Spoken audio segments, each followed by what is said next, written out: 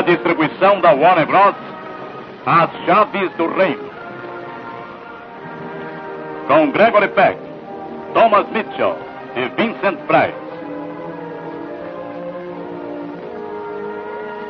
Versão brasileira, Dublação Guanabara.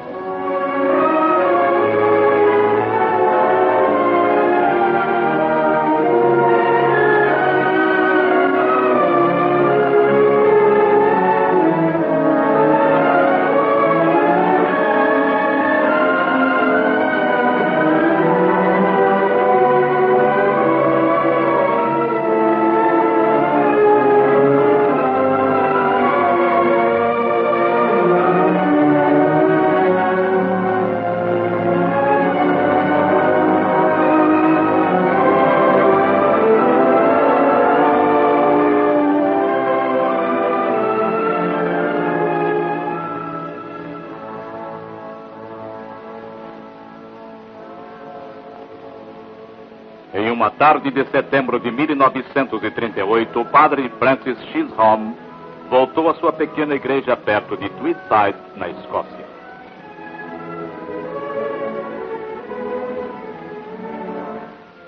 Boa tarde, senhor. Boa tarde,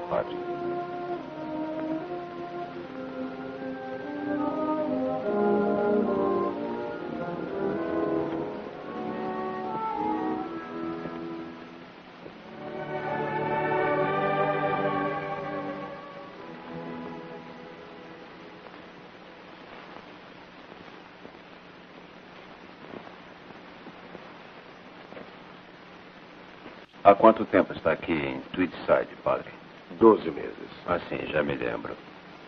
Foi por seu próprio desejo que voltou à sua paróquia natal. Também foi a paróquia natal de sua graça, o bispo.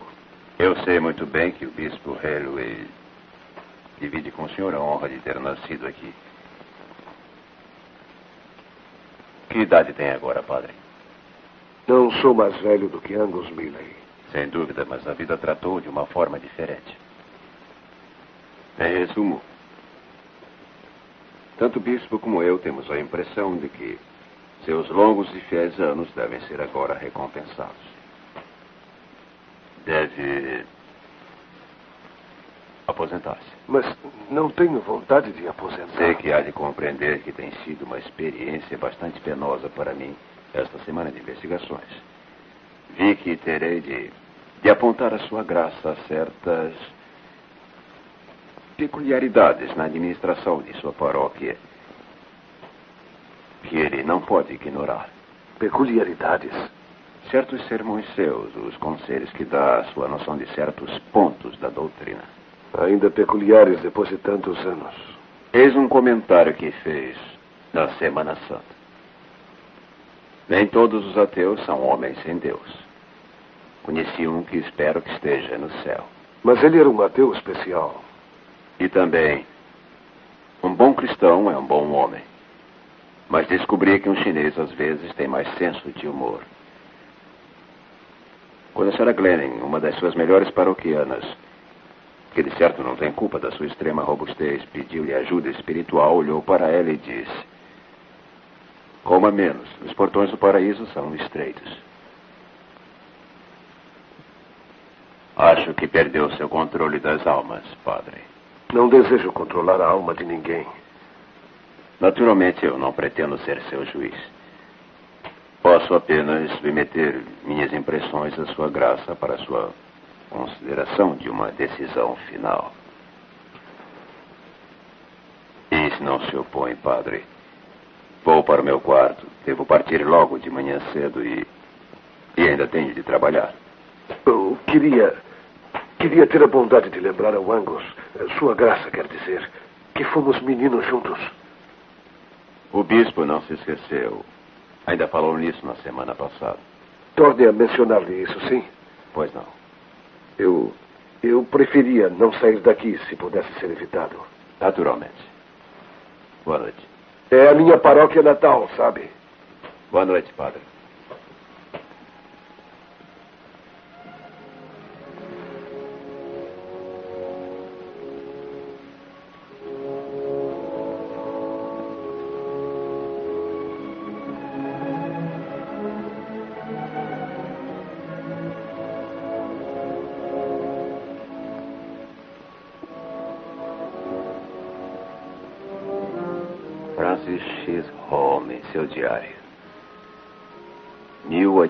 1878.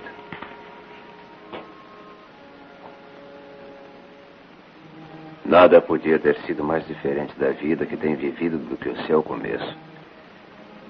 Meu pai era um mestre pescador na pequena aldeia de Tweedside. O melhor e mais honrado homem que já conheci. Era católico como eu. Minha mãe era protestante.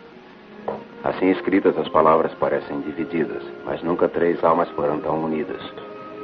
Nunca três corações foram tão felizes e tão cheios de mútuo amor como os nossos. Vamos ter visita para o jantar hoje. Lembre-se, pode virar de Tânia Castro e vai trazer Nora. Nora? O que é que tem Nora, rapaz? É uma menina? É uma fiel observação. Mas você tem que ser tolerante, rapaz. Não é culpa das mulheres não serem homens. Alex queria que deixasse um outro qualquer levar as contas para a cidade. Haverá barulho de novo. Na semana passada eu andei eles dando uns cascudos. Farei o mesmo essa semana se me incomodarem. Alex, por favor. O provável é que não me diga uma palavra de um jeito ou de outro.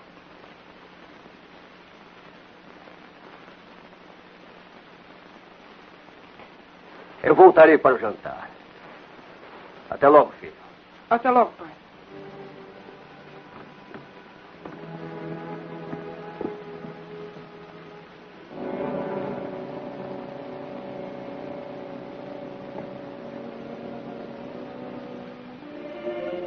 O que lhe causa medo na cidade, mãe? Desculpe, Francis, o que foi que você disse? Perguntei o que lhe causa medo na cidade. Você e seu pai são católicos, filho. Há quem temos católicos. Há quem os odeie também.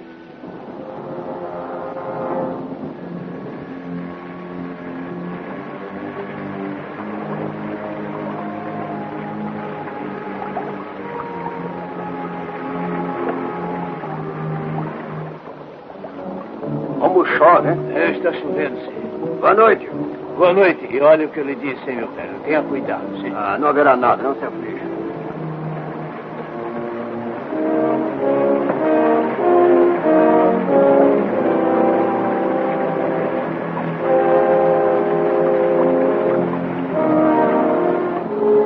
Lá vai aquele papista sujo. Já dissemos para essa ralé romana para subir desta cidade.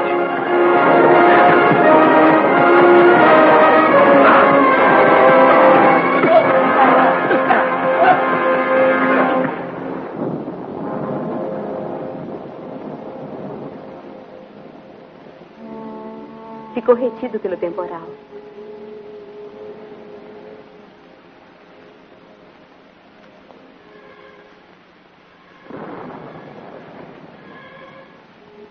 Eu não aguento mais isto, Polly. Mãe, eu vou com você. Não, Francis.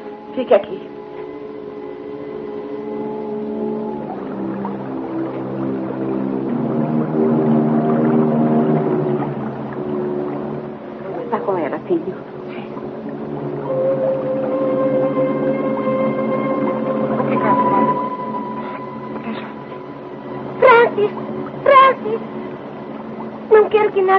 Nada aconteça a ele.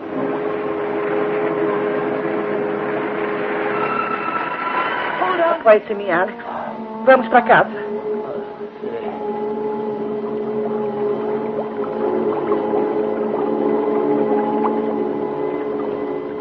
Cuidado. Cuidado!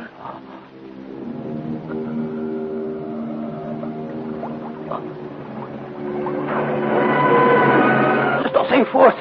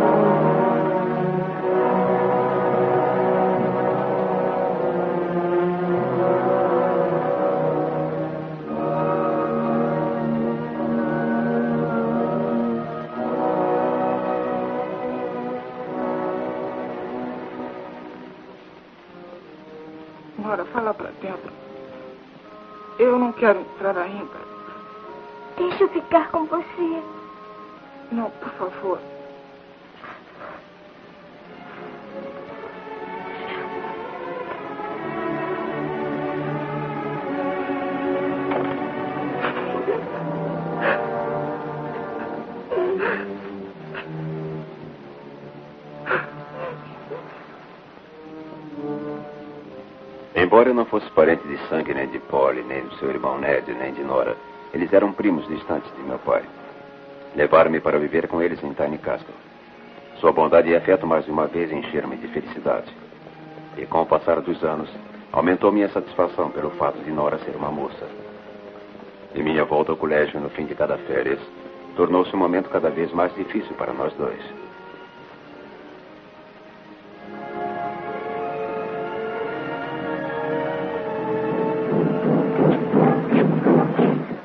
Olá, Francis. Finalmente você chegou. Já estava até pensando que o William estava aqui para me despachar. É, estou, de certo modo. Francis, tem certeza Alô, de que como vai? Olá, William. Olá, Olá. Olá. Alô? É melhor você e Francis embarcarem. É bem possível que fiquem aí conversando e percam o trem.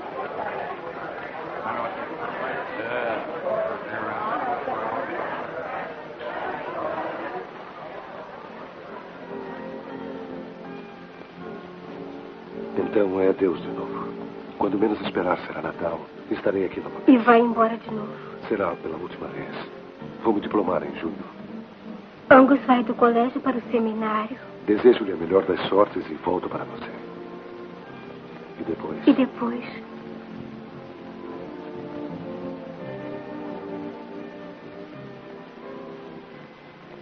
O que é? Nada. Conte-me.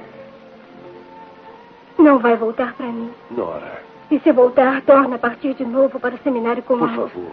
Vai acabar sendo padre, Francis. Por que você não tira isso de sua cabeça? Não posso, e você também não. Amo você. Mas ama Polly também. É claro que sim, mas isso. Ela só vive para em que você for padre. É só no que fala, só no que sonha, só que reza. Por isso é que foi para a escola com Angus e não com William. Porque Rolhel é um colégio Eu católico. sei que tia Polly ficaria muito feliz se eu me tornasse padre. Sei que ficaria mesmo. Mas não há a mínima chance. Como podia ver se sinto o que sinto por você? Que força terão seus sentimentos por mim quando se chocarem com o que Polly quer mais no mundo? Ela faz o que quer com você, vive preso à saia dela. Nora, não está sendo justa com ela, sabe? Não, acho que não. Nora, por que você não espera para ver? Está bem. Mas às vezes tenho tanto medo e sinto-me tão só. Francis! Francis,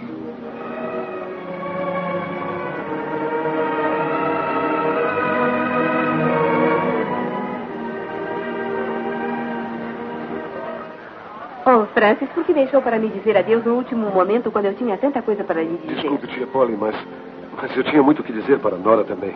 Foi uma maravilha estar em casa. Oh, Francis, tenha cuidado com você. Escreva-me muito e estude bastante, sim? Claro que sim. Francis, está querendo perder o trem? Venha. Já estou indo, Angus. Adeus, Ned. Obrigado por tudo e trate bem a tia Polly. Assim farei. Adeus, Willie. Boa sorte na medicina e escreva. Manda-lhe o primeiro coração que dissecar como um mascote, hein? Adeus, querido. Ora, ora, eu não estou partido para as minas de sal na Sibéria. Adeus, Nora. Vamos, Adeus, Francis. Francis, Falta um minuto para sair. Francis. É, Já está tudo aí, Francis? Sim, está. Sim, eu já Adeus. tenho tudo aqui. Adeus. Adeus, Adeus. Adeus, Adeus. Adeus, Adeus. Adeus. Ei! Um momento, um momento. Eu esqueci meu presente para Angus. Uma coisinha para as noites frias de. Mas tá. Pode mesmo separar-se disso? Eu não quero privá-lo do seu único conforto.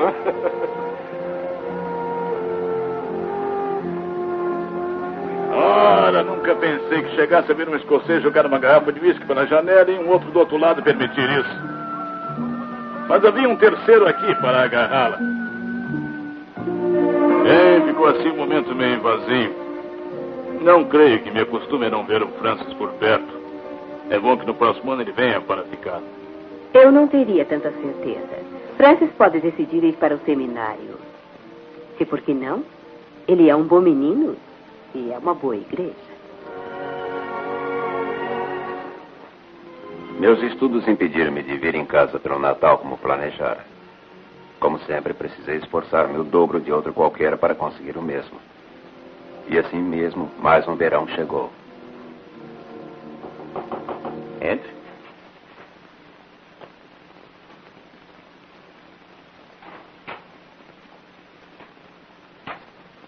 Chisholm, que explicação oferece pela sua conduta? Fiz alguma coisa errada, padre? Qualquer coisa é imperdoável. Você. Esqueci o que exatamente? Apenas um exemplo adicional do que em você parece ser uma desobediência mental geral. O que vem a ser isso especificamente, padre? Durante minha aula, referi-me à única verdadeira e apostólica religião. Ele achou de rebater essa descrição. Então? Minha pergunta foi apenas uma pergunta, padre. Perguntei se Deus daria um valor exclusivo à crença que era apenas um acidente de nascença. A resposta à sua pergunta é sim. Tem pescado ultimamente? Estava pensando em experimentar na Lagoa Glebe, senhor. Lá tem uns grandes. Não tem nada na Lagoa Glebe. Lá tem agora um bem grande, senhor. Imaginário. Se não precisa mais de mim, padre. Obrigado, padre.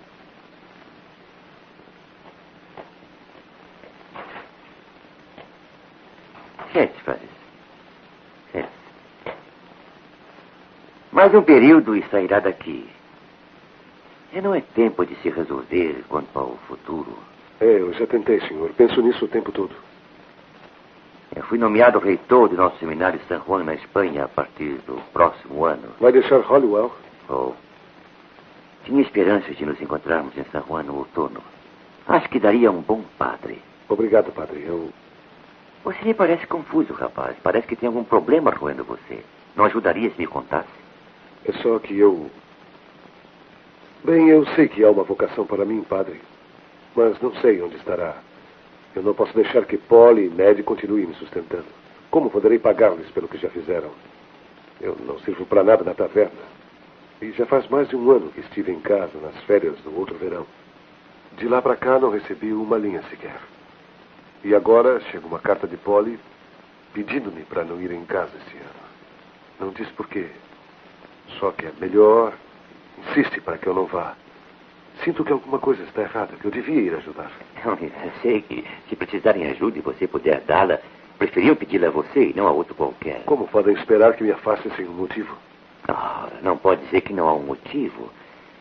Meu coração decidira que jamais sairia de Hollywood. Você o pedia para ir para casa. O que você acha? Vamos concordar em aceitar a vontade do Todo-Poderoso.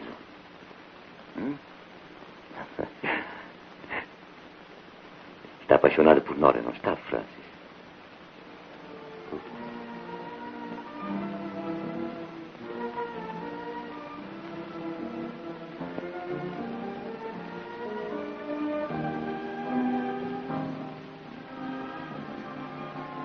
Diz que realmente viu esse peixe. Sim, padre, eu vi. Então por que não vamos atrás dele antes que fuja? Vamos. Tome, pegue um caniço. Sim, padre. Bem, o que estamos esperando? Obrigado.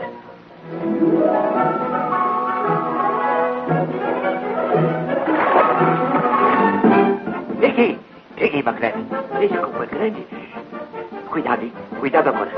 Ajuda aqui. Olho nele, rapaz. Olho nele. Olho nele. Oh, McNabb, cuidado. Ah, que pescador mais gozado você é, McNabb. Pegue o Simonzol. Lá vai ele, rapaz. Pegue-o pra mim ou estará perdido. Espere, Pegue. padre. Pegue. Senão ele foge.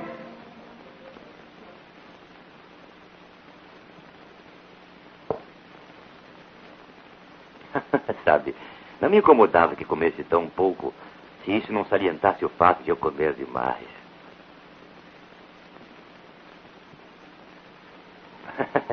Foi bondade sua, eu acho, pôr todos esses peixes nos riachos e, mandar pra cá pegá-los. É um belo som esse. Quando eu era um garoto saudoso e o ouvia à noite, imaginava que era o grito de uma alma perdida sofrendo pela eternidade. A minha imaginação é menos espiritual, padre. Para mim, o Expresso do Sul é só o que me fala de casa. Apita para mim e amanhã à noite vai apitar para eles. Por favor, compreenda, padre. Eu tenho que ir para casa. Mas eu compreendo, Francis. Se ao menos Nora escrevesse, se ao menos ela. Sabe, ela se opunha amargamente à minha vinda para Hollywood. Pensava que eu. Sim, eu sei, eu sei. Eu. Sente um momento, Francis. Tenho uma coisa para lhe dizer. Tem mais notícias para mim. É sobre Nora. É. Por que não me disse? Porque não era fácil dizer. Sente, rapaz.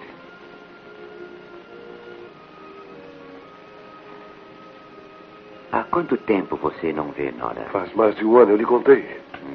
Contou que ela brigou com você porque achava que iam fazer de você padre contra sua vontade. No íntimo, ela sabia que não era assim. Eu não tenho meio de saber o que Nora pensava, mas parece que depois de sua partida ela. Nenhum dos seus amigos escreveu sobre ela? Eu só tenho um amigo, Willie Tullock. Ele foi para a escola de medicina. É. Está em casa agora. Em casa? É. Cuidando dela. Mas. Nora mudou muito, Francis, e só para pior, infelizmente. Tornou-se cada vez mais amarga, mesmo com aqueles que mais a amavam. Parece que nada a interessava, e seu próprio caráter muito menos. Até que finalmente. Padre, o que está tentando me dizer? O que aconteceu? Há seis semanas ela deu à luz a uma criança. Deu à luz a uma menina. Só ela sabe quem é o pai. Não quer dizer. Está em estado desesperador.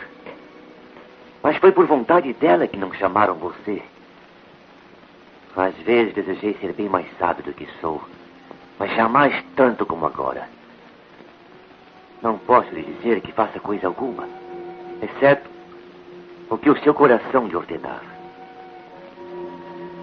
Ainda pode pegar esse trem, Francis. Adeus, padre. Deus o abençoe, rapaz.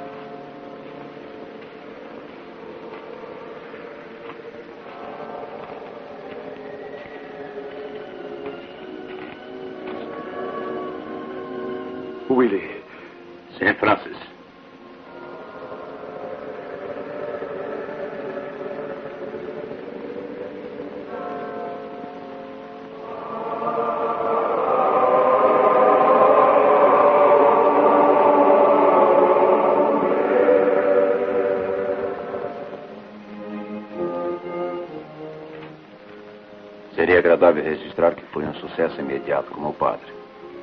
Os fatos foram bem diferentes. Fracassei tristemente nos meus dois primeiros curados.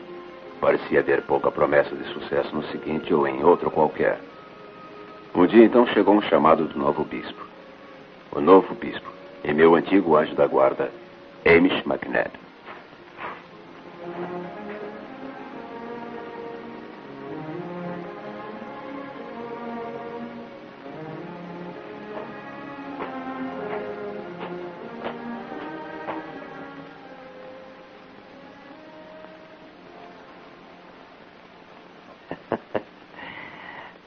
Francis, é um prazer para meus olhos cansados ver um padre tão visivelmente pobre como você.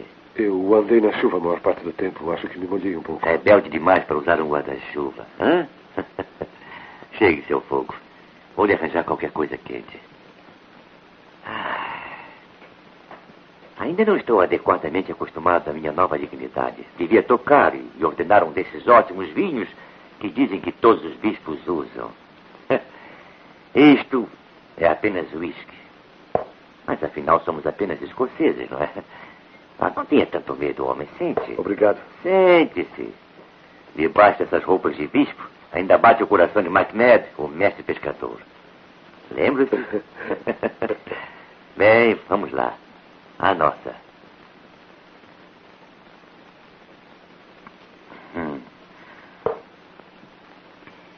Teve alguns momentos difíceis, não foi, Francis? Essa é a mais bondosa maneira de expressá-lo, Eminência. O fracasso deve se cingir aos fatos. Hum. Muito bem, vamos ver. Depois de Hollow, teve dois curatos. No primeiro, Shellesley insistiu em organizar um salão de danças. Era um centro recreativo, Eminência. Precisavam desesperadamente disso. Se pudesse ver a pobreza e a indigência daquela gente. De qualquer modo, houve uma divergência muito séria entre você e seu superior.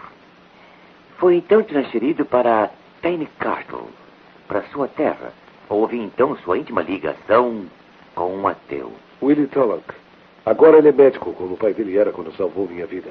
Willie é meu amigo mais antigo e mais querido e um dos homens mais bondosos que conheci. Hum. Os ateus têm motivo para serem bondosos. E depois o padre Fitzgerald. Acha você opinativo e frequentemente culpado de doutrina pouco ortodoxa? Acho que nada que eu fazia agradava a ele. Só o Todo-Poderoso. Esse também não deve estar muito satisfeito comigo. Porém, na casa de nosso pai há tantas moradas que na certa deve ter lugar para mim. Esforcei-me tanto, Eminência, creia-me. E fracassei lamentavelmente. Sou tão mal equipado para dar o que meu coração tem. É estranho. Quando eu era menino, eu imaginava que não era nada difícil ser um padre. Que eram todos infalivelmente E perfeitos. descobriu agora como somos assustadoramente humanos, né? Para mim, você nunca foi um fracasso. E creio que nunca o será. Muito obrigado, Eminência.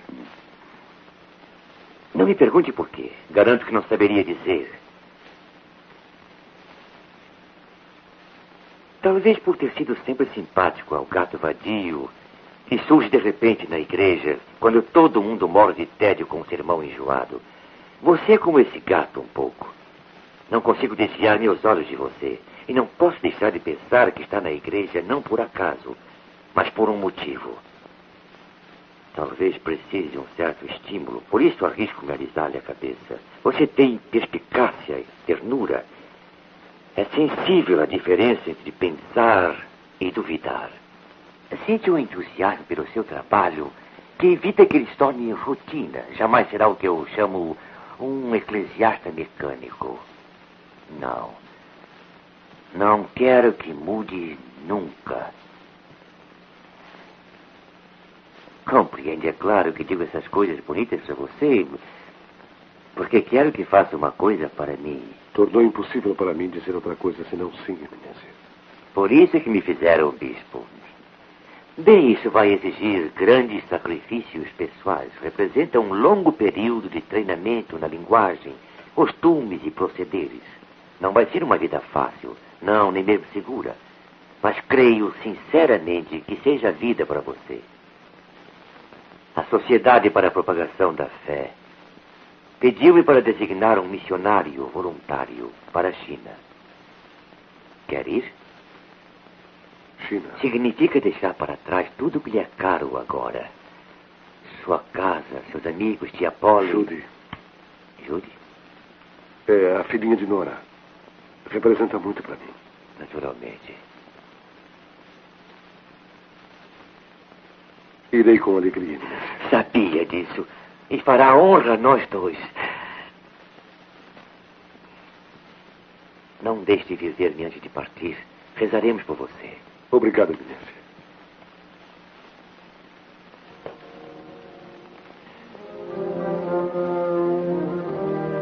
Oh, Francis.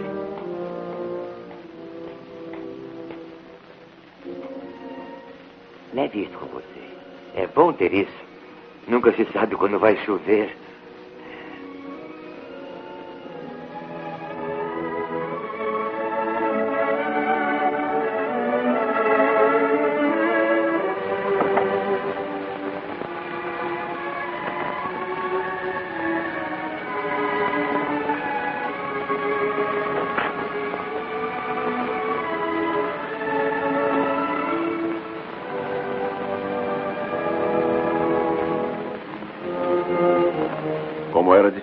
China de hoje, o país onde cheguei já faz tantos anos.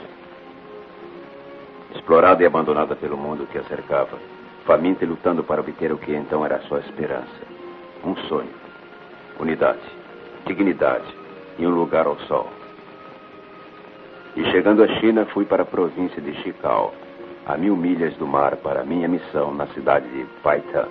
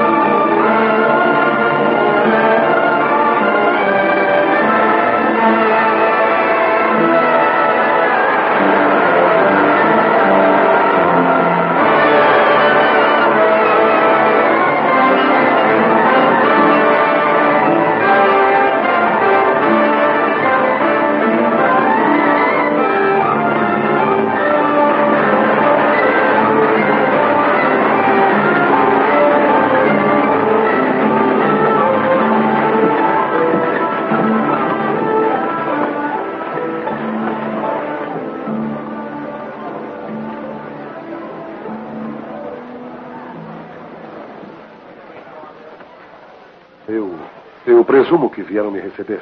Oh, sim, sim, padre. Eu sou Osana Wing, seu amigo catequista, e esta é minha esposa cristã, Filomena. Como tem passado? Temos carregadores e uma cadeira, se o padre estiver pronto. Oh, que gentileza. Mas o dia está tão bonito que eu prefiro andar. Obrigado.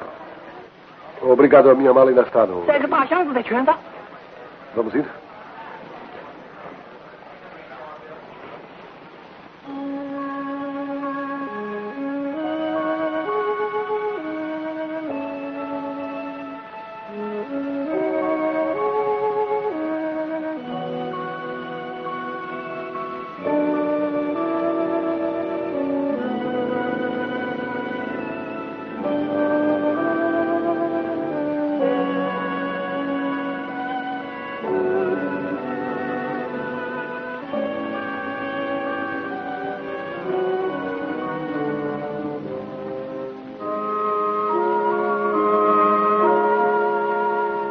Por que nós paramos aqui? Com certeza a missão não deve estar muito longe. Não, padre, a missão é aqui.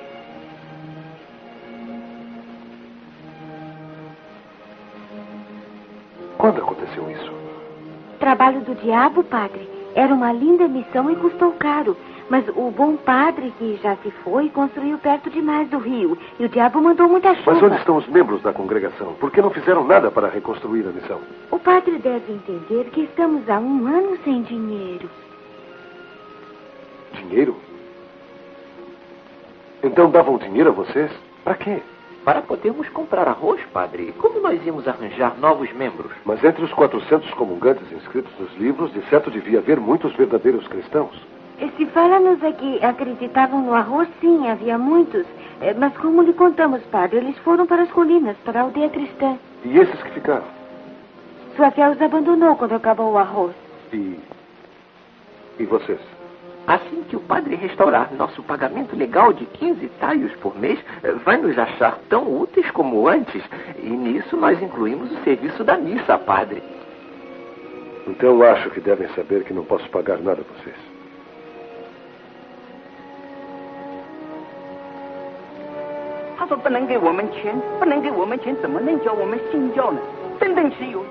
Devo avisá-los de que estou entendendo quase tudo o que estão dizendo. Sei também que são cristãos do arroz e não tenho nenhum interesse neles. Talvez, padre, precise entender mais do que linguagem de pai e tanto. Há muita animosidade ultimamente contra estrangeiros e principalmente se eles não têm dinheiro. Seria muito bom para padre ter dois amigos de grande influência. Sem eles talvez acabe se dando mal.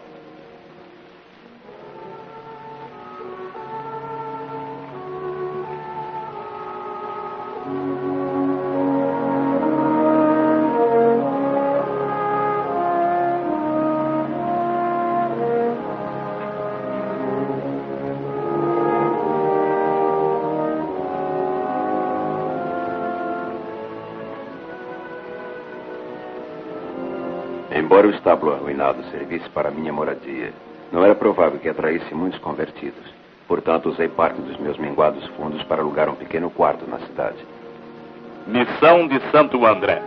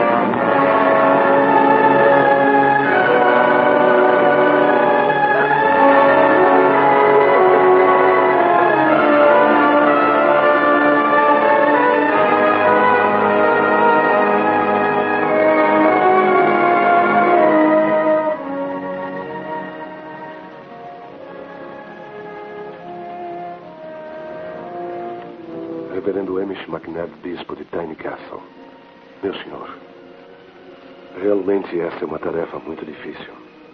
Mas deve haver um meio de levar a graça de Deus mesmo a estas suas criaturas mais infelizes.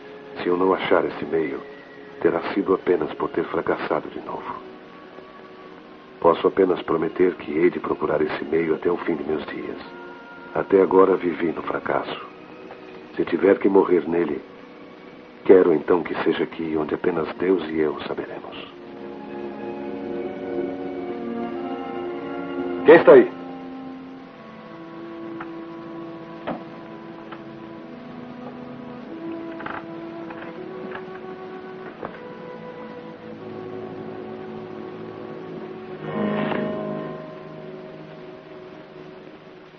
Quem é você?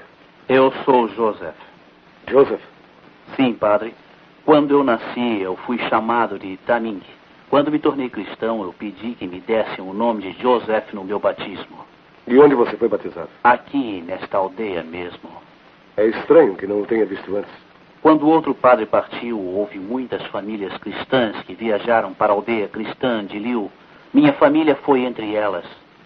Então por que regressou? Tivemos notícias de que estava aqui. Com a permissão de meu pai, vim imediatamente. Ah, sim. Então, entre. Obrigado, Entre. padre. Espere, deixe-me ajudá-lo.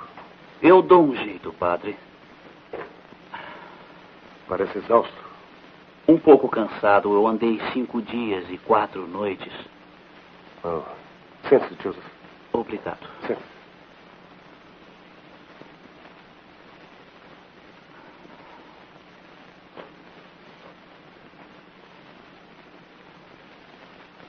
De certo, o padre não pode viver neste estábulo miserável, não é? Os de Belém não tiveram coisa melhor.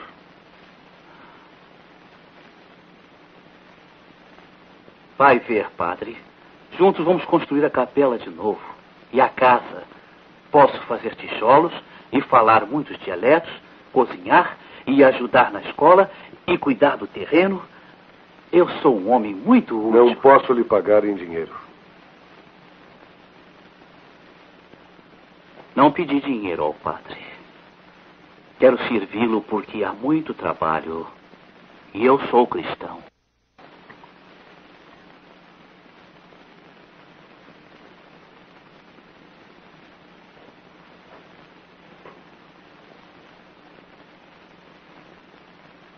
Tenho. Tenho vivido sozinho tanto tempo que talvez sem saber minha fé e confiança fossem abaladas. Você me perdoa, Joseph. Na cesta tem uns melões, uns patos e várias dúzias de ovos que eu fui reunindo pelo caminho. Reunindo? Ah, quer dizer que cresciam à toa, como as flores. Estavam sozinhos, sem que ninguém os vigiasse. Não consegui ter bastante coragem para deixá-los abandonados. Vejo que tem um belo instinto missionário, Joseph. Devemos ensinar-lhe a não aplicá-lo à propriedade alheia. Trouxe também um pouco de chá, de casa. O padre gostaria de uma xícara? Uma xícara de chá. Faça com que eu me sinta muito humilde mesmo. Nada tenho para dividir com você. O padre pode dividir comigo o seu privilégio de trabalhar para Deus.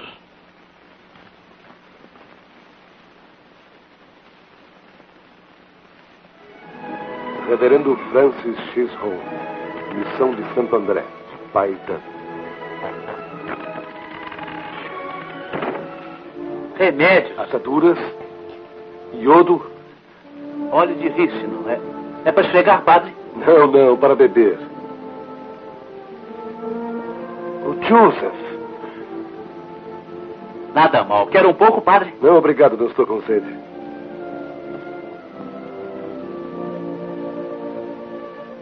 Oh, acho que deve saber. À vista do sangue, eu desmaio como uma mulher. Willie Tarnock. Sua Santidade. É espantoso como se pode fazer um homem sentir-se religioso curando suas dores de barriga. Mando para você todos os meus segredos e um livro de instruções. Cure o que puder e mate o que não curar. Willie Tovac, médico e ateu. PS. Por clinicar sem licença, é claro que vou denunciá-lo à Sociedade Médico Britânica, ao Papa e aos chineses que encontrar. Willie. Missão de Santo André, ambulatório público. Os doentes são tratados grátis.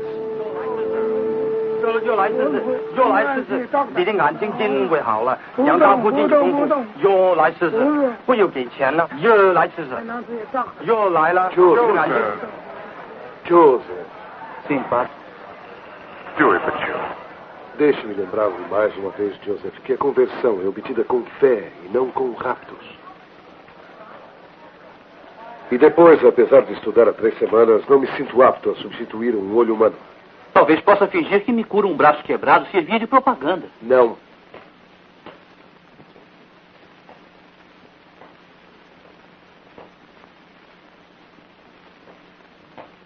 O padre está certo. Isso seria muito desonesto. Talvez se quebrasse realmente o braço. Aprecie os extremos a que está disposto a ir, Joseph, mas precisamos dos seus dois braços como estão. Não posso dizer, contudo, que seja encorajado a. Um doente. Arrasto para dentro, padre, e eu tranco a porta. Pode ir entrando.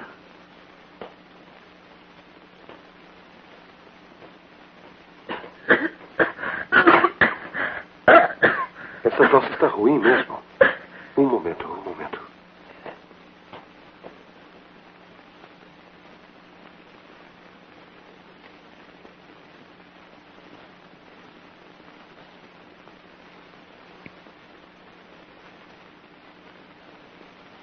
Bem, basta que beba isto aqui.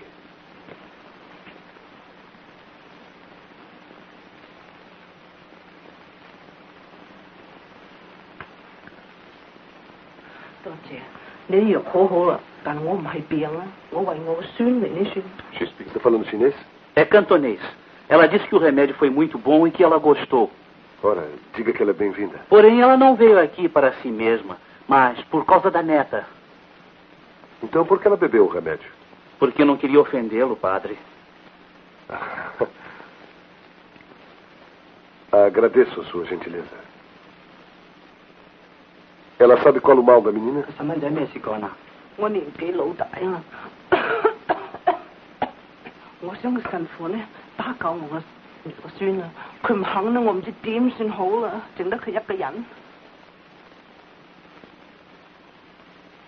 Criança não está doente para precisar dos nossos remédios. Parece que o seu problema é ser do sexo feminino. Isso ela tem em comum com todas as outras meninas. A velha diz que vai morrer muito em breve e que é a sua sagrada promessa de que se encarrega da menina. Não tem outros parentes?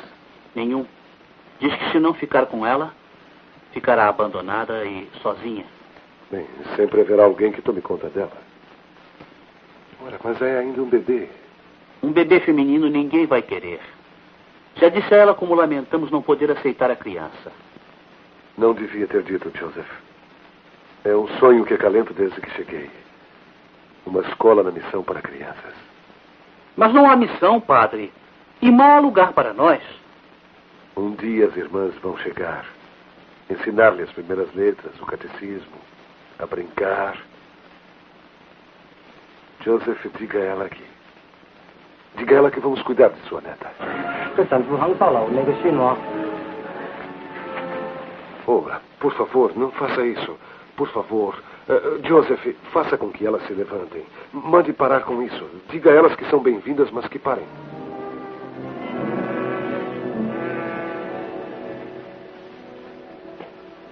Por favor, perdoe minha intrusão. Entre, por favor. Obrigado. Eu estou aqui a pedido do meu primo, o Mandarim. Deve lembrar-se.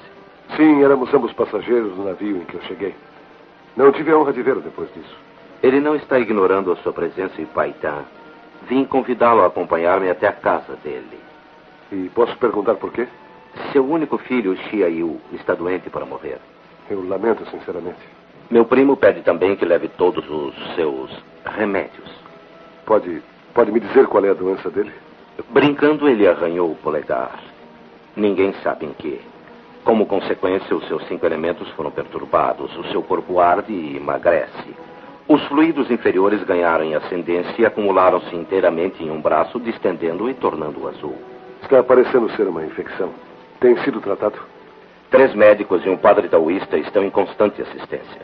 Foram aplicadas ervas sagradas. Deve compreender que eu não sou um médico formado. Eu apenas trato das perturbações mais simples. Shen Fu, o padre, disse que veio fazer o bem e que as suas bênçãos abrangiam seus iguais. É verdade. Meu primo quer apenas que leve as suas bênçãos e faça o bem que puder.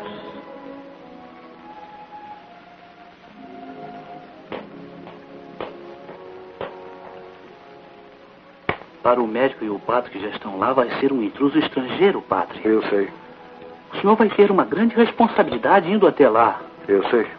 Xiaoyu é filho único. Seu pai é um mandarim e seu poder é grande e indiscutido. Joseph, quero que comece a rezar para Santo André assim que eu sair. E não pare de rezar até eu voltar. Ah, eu. Eu tomo conta dela. Sim, padre. Obrigado.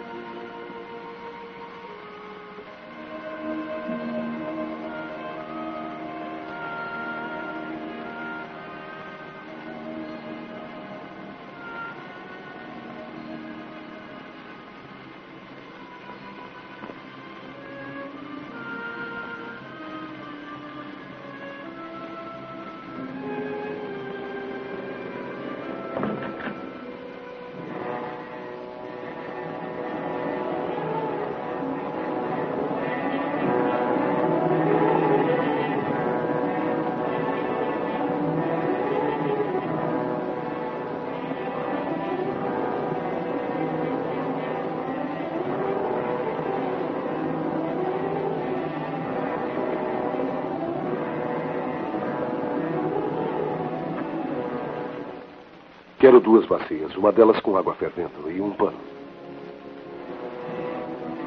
Tray and love tray.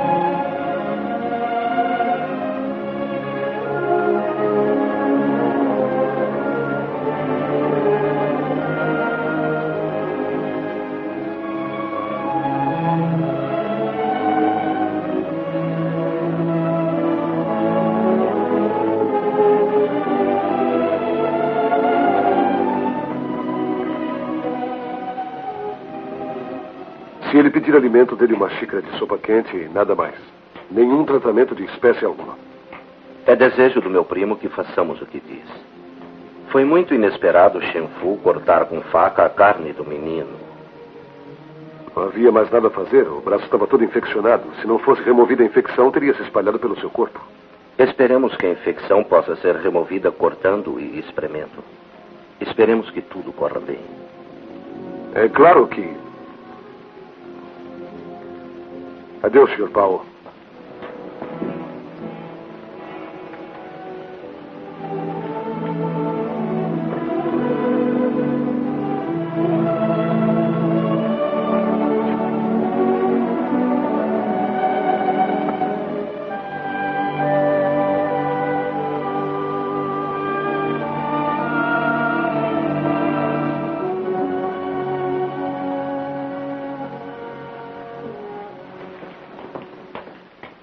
Dia, Sr. Paulo. Bom dia. Como vai o menino? Shenfu deve saber melhor do que eu.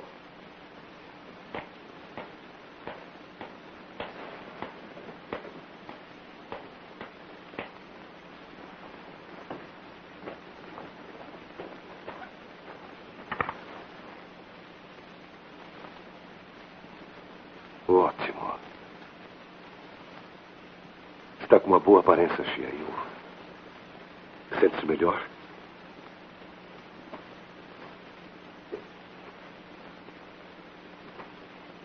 Vou querer as bacias e água quente, por favor.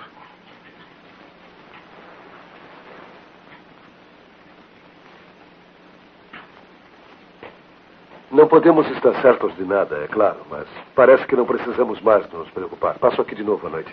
Eu tive instruções para agradecer-lhe e dizer que não será mais necessário incomodar-se de novo. Não, não será incômodo algum. Trata-se de uma simples mudança de atadura. Mesmo isso não será mais requisitado. Obrigado. Meu primo, o Sr. Xia, lamenta ter sido incapaz de expressar a sua gratidão em pessoa. Seu desgosto foi tanto que preferiu não mostrá-lo abertamente.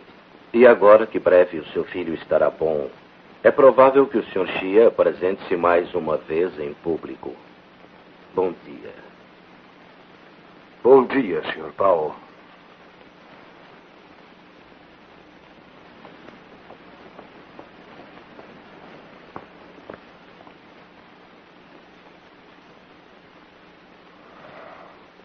Meu Deus, dá-me paciência e conformação ao invés da raiva de agora. Dá-me humildade, Senhor. Afinal, foi só tua misericórdia e bondade e tua divina providência que salvaram o menino. Mas eles são ingratos e sabes bem disso.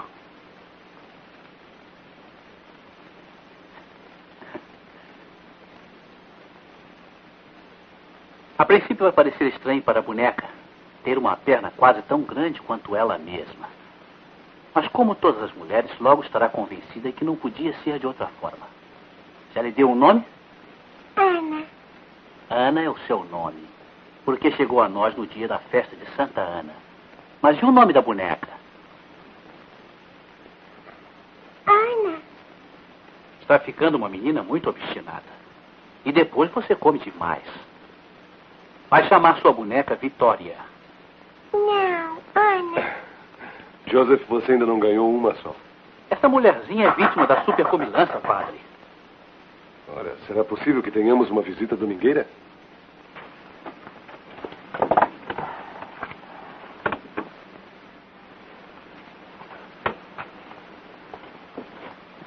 Oh, entre, por favor. Obrigado. Não quer sentar? Posso tomar a liberdade de dizer-lhe quem sou eu? Sei quem o senhor é, senhor Chia. Agora posso sentar-me? Sim, claro.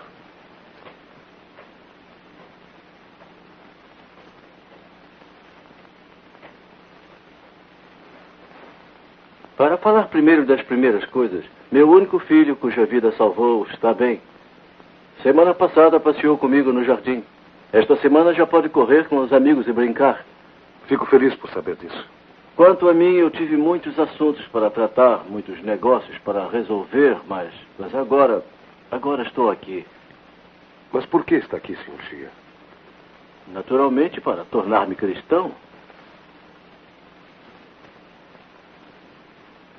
Quer dizer, então acredita no cristianismo? Com o tempo, sem dúvida, acostumo com ele, sim. Mas o cristianismo não é um hábito, senhor Chia. Quer se tornar cristão? Eu estou aqui.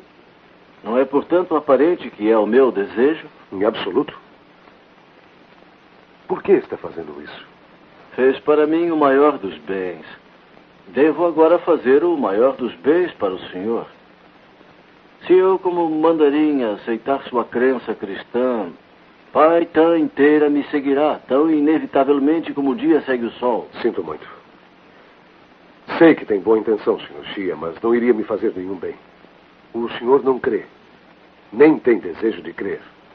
Se o aceitasse, estaria fazendo uma trapaça com Deus. Quer dizer, então, que o senhor não me aceita? Sim, eu não o aceito, senhor Chia. Compreenda, deve se converter porque acredita e não apenas por gratidão. Não me deve nada.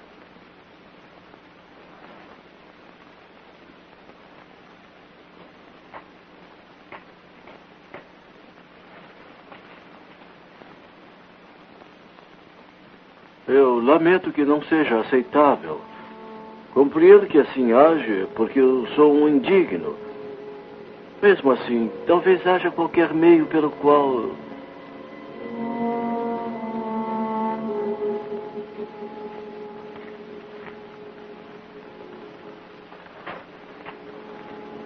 Vamos.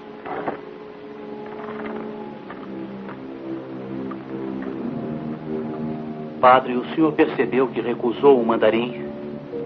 Joseph, não vejo diferença em comprar a alma de um homem ou aceitá-la em troca de serviços prestados.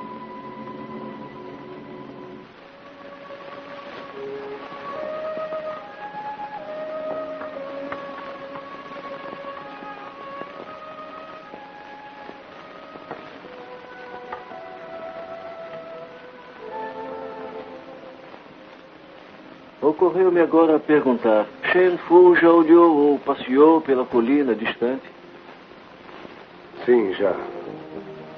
É o ponto mais bonito da região. A propriedade é vasta em extensão, mais de 60 moos. É chamada a Colina do Brilhante Jade Verde. E é minha. É sim, eu já tinha percebido. Eu não pude deixar de notar que os terrenos e edifícios de sua missão estão em condições desastrosas. Dá-se um jeito com a ajuda de Deus. Eu gostaria de ajudar também no meu humilde modo. Imploro que me faça a honra de aceitá-la como propriedade da sua igreja, com todos os direitos de terra e água. Senhor Chia. E os direitos dos poços de barro sem restrições para sempre. E peço ainda que aceite o uso de 20 dos meus trabalhadores e o material para efetuar completamente qualquer construção que deseje realizar. O senhor fala sério? Se não falasse, seria indigno de encarar meu filho como um pai. A escritura e os papéis legais lhe serão entregues amanhã.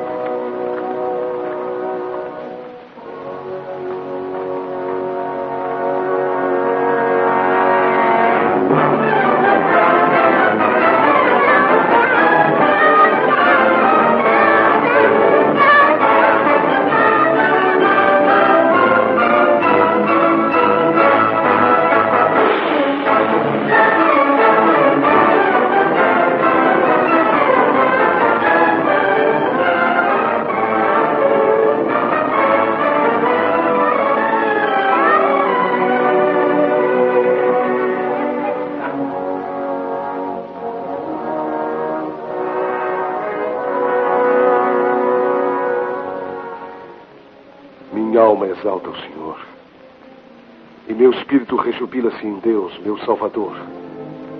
Pois Ele, que é poderoso, fez grandes coisas por mim. E poderoso é o seu nome. Dois anos de planejamento e construção viram minha congregação florescer e a minha missão quase completa, exceto pela ansiosa e esperada chegada das irmãs.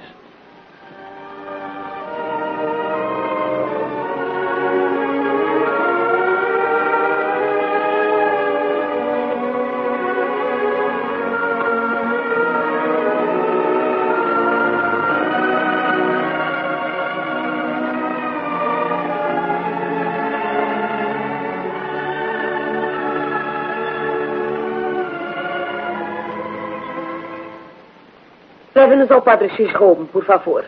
Só a Madre Maria Verônica. Mas, mas não eram esperadas senão amanhã.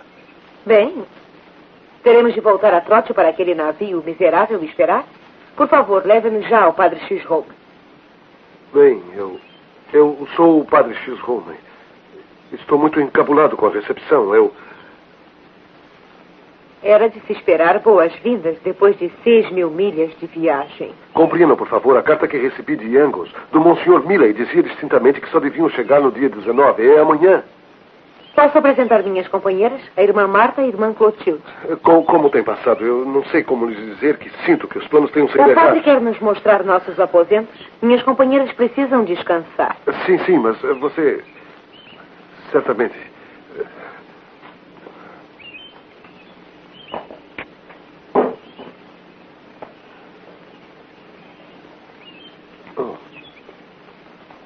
Queiram seguir-me, por favor.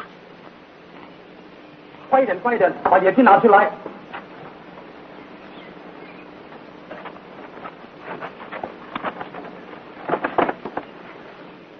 Esta é a nossa escola. E esta será a nossa casa. Fiz os planos quando construímos. Oh, é lindo! É muito bonito mesmo. Vai dar trabalho manter isso limpo. Mas terão bastante ajuda. As mulheres cristãs têm estado quase tão ansiosas por vocês quanto eu. Permite, por favor. Reverenda Madre, eu. Eu planejei. Eu pensei que talvez pudéssemos jantar todos juntos esta noite, por ser uma ocasião especial. Obrigada, mas acho que não. Se nos pudesse ceder leite e umas frutas, depois de certo repouso estaríamos prontas para o trabalho amanhã. Não quer mais nada? Nada, obrigada.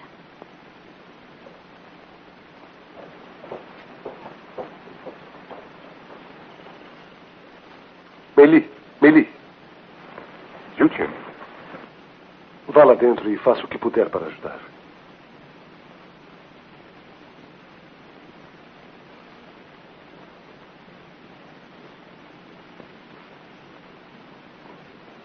Dia, dia 19. Positivamente dia 19. Hoje é dia 18 e amanhã é dia 19. Entre. Mandou as frutas e o leite para as irmãs? Há muitas horas, padre. Um fazão meio assado pouco adianta para ele, mesmo para qualquer um. O que faremos com ele? O que faremos? Joseph, mande uma das mulheres levar isso para a Madre Maria Verônica. Diga que que eu gostaria que ela visse. A reverenda Madre está na escola. A esta hora, tem certeza? Vi quando entrou. Levava uma pasta de couro para escrever. Oh. Bem, eu mesmo levo para ela. Joseph, o fazão conserva-se até amanhã à noite? Ele não está em condições de fugir, padre.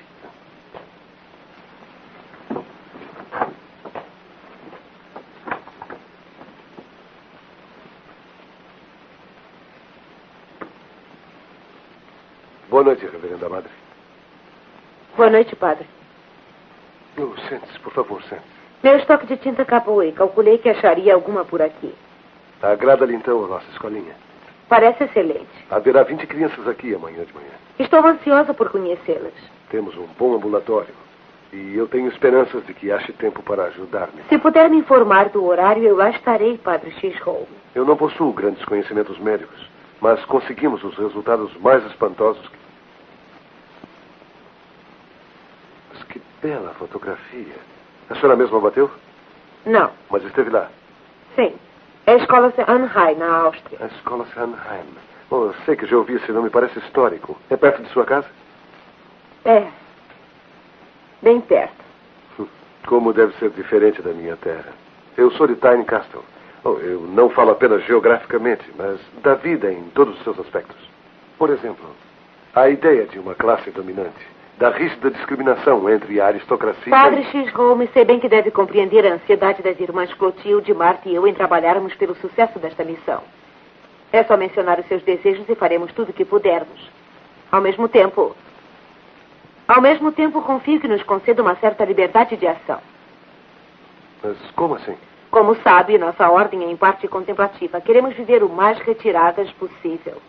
Tomar nossas refeições sozinhas e manter aposentos separados. Nunca tensionamos outra coisa?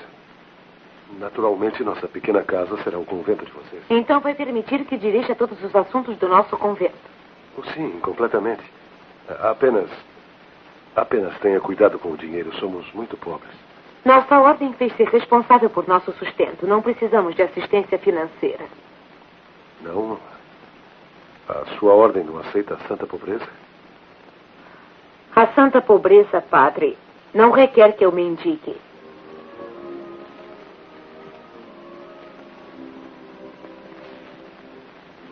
Vou mandar-lhe o aviso do horário do ambulatório e dos serviços da igreja.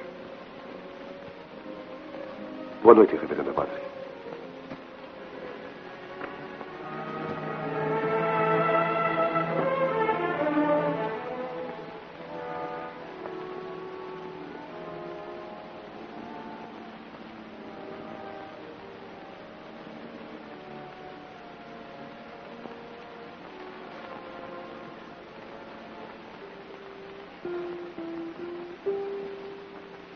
Ele acaba de sair daqui.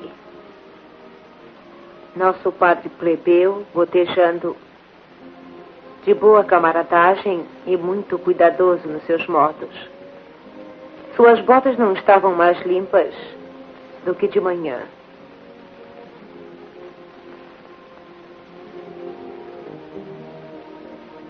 É claro, mãe. Sabe que cada palavra que escrevo é um pecado contra Deus. Mas não posso conter-me. Eu temo o futuro. Presa neste local isolado, dedicada a servir certamente os mais baixos súditos do reino de Deus e a igualdade deles a mim perante Deus. Foi isso que eu quis. E assim será. Com o passar das semanas, minha decepção por ser incapaz de ganhar a amizade da nossa reverenda madre perdeu-se na minha crescente admiração por sua eficiência e pela maneira como a missão prosperava, graças aos esforços dela e de suas companheiras. Bom dia! Bom dia! Pai nosso que estás no céu, santificado seja o vosso nome. Venha a nós o vosso reino. Seja feita a vossa vontade, assim na terra como no céu. O pão nosso de cada dia nos dai hoje, perdoai os nossos devedores. Está bem, mãe. Vai. É só por hoje. Volte amanhã, hein? Obrigada. Sim, entre.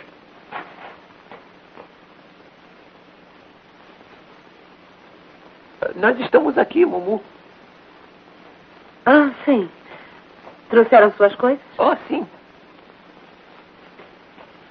Nossas poucas humildes coisas. Vão então para a casa pequena. A irmã Marta lhes mostrará o seu quarto. Ah, Muito obrigado, Mumu.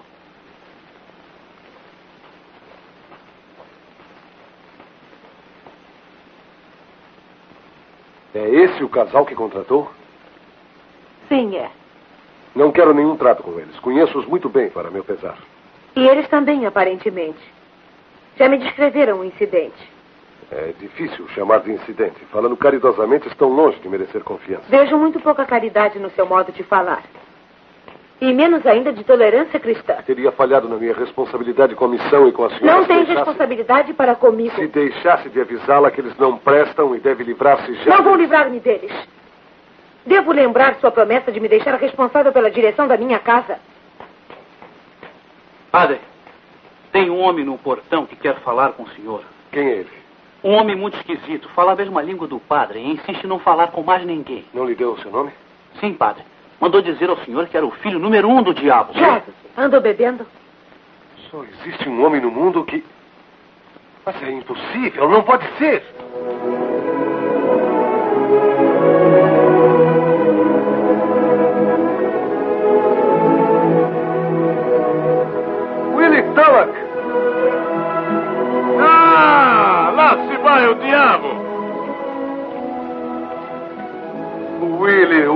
Meu Ah, velho. Francis, meu filho. O que eu trouxe aqui é uma surpresa maravilhosa. Pois não devia ficar tão surpreso.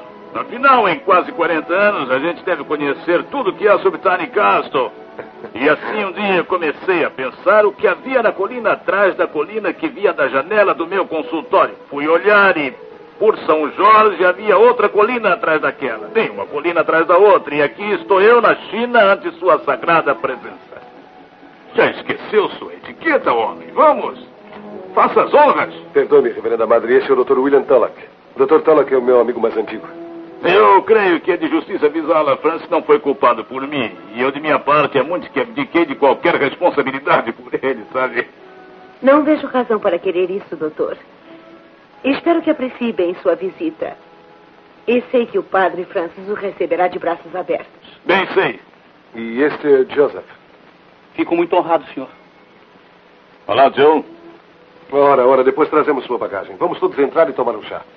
Se me dão licença, eu tenho que trabalhar. Foi um prazer, doutor. O prazer foi meu, madame. Grande mulher, hein? Não quer mesmo um gole? Não, obrigado. Ah, Judy é uma garota estranha.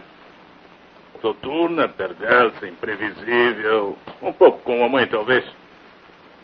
Ei, um dia se casa, imagino, quando bem quiser, e acha felicidade na vida. Hum, felicidade na vida. Depende do que se faz, do que você dá, do que você recebe. Dei ao mundo milhares de tabletes de aspirina e adquiri o gosto pelo uísque escocês.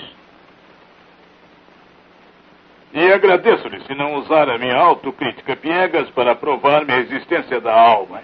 Por que vou querer discutir com você uma coisa na qual acredita? Olha, Francis, nos três dias que tenho estado aqui,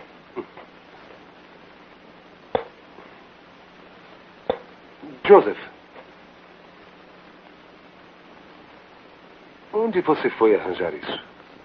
Perdoe-me, padre, mas esta noite achei necessário dar uma surra em Osana Vonga. É? Por quê? A mulher dele me bateu com um cabo de vassoura. Dei uma surra nela também. Direitos iguais para as mulheres, concordo.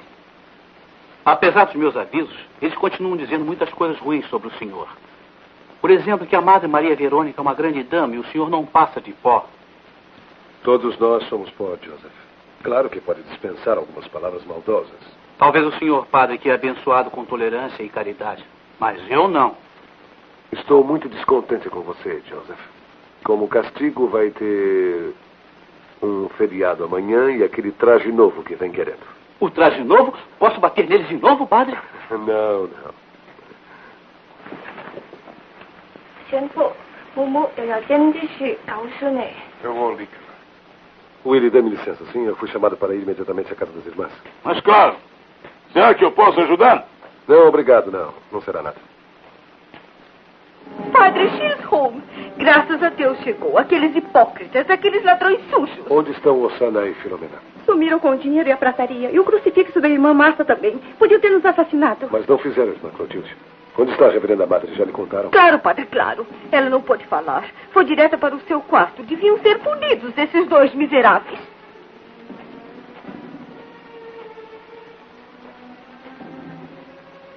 Foi por minha culpa que seu crucifixo foi roubado. Eu sei como lhe era caro.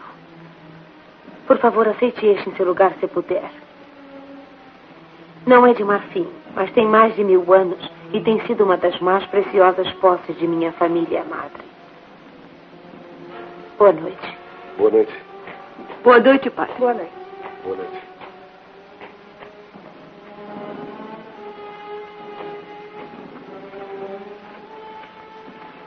Boa noite, Shenfu. Senhor Xia. Ora, mas que enorme prazer. Também é um prazer tornar a vê-lo. Posso oferecer minha mão à moda dos ingleses? E posso oferecer-lhe uma xícara de chá à moda dos chineses? Obrigado, mas tenho de recusar. Meu filhinho espera em minha cadeira. Vim apresentar-lhe apressadamente meus respeitos e dizer adeus por uns tempos. Estamos agora mesmo a caminho da minha casa de verão nas montanhas. Casa de verão? Mas voltou há pouco de lá. O outono está praticamente chegando. Seria para mim uma grande honra se o senhor e as damas que o assistem rebaixassem-se a ser meus hóspedes. Sua oferta é muito bondosa e generosa, Sr. Xia. Mas não sairia de Paitã levando seu filho para a segurança de sua casa nas montanhas sem um motivo importante. Qual é? Deseja que eu, como se diz, vá direto ao ponto? Sim, exato. Muito bem. Como sabe, as tropas revolucionárias, os soldados da nova República Chinesa estiveram em Paitã há várias Sim, semanas. eu sei disso. O que não sabe é que tropas imperiais do general Wei instalaram-se nas colinas hoje. Já mandou um ultimato de rendição para as tropas republicanas. E o ultimato foi desprezivelmente rejeitado. Sei. E o que acontece agora? O general Wei ameaçou o bombardeio imediato da cidade.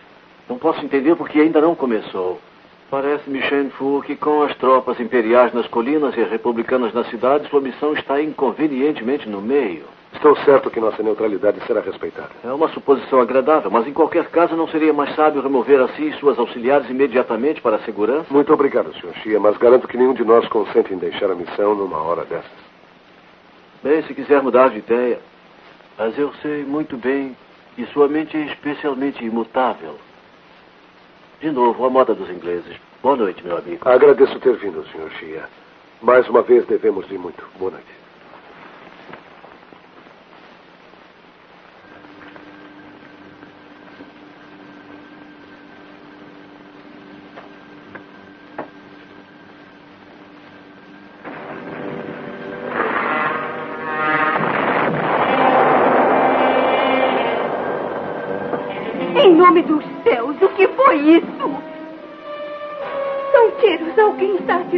Irmã Clotilde, não é nada disso.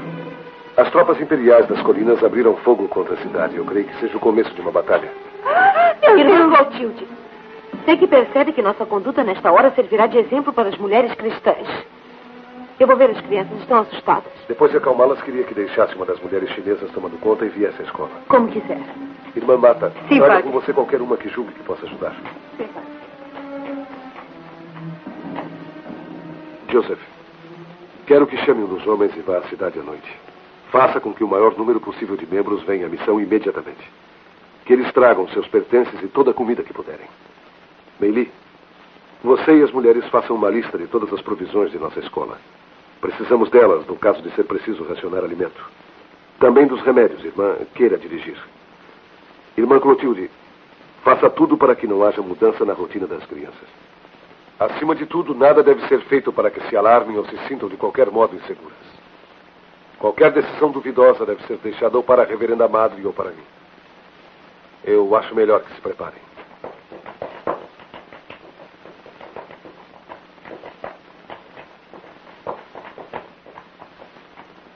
Deus jogou sobre nós uma grande responsabilidade. Devemos todos trabalhar juntos. Será necessário esquecer qualquer diferença pessoal. É claro.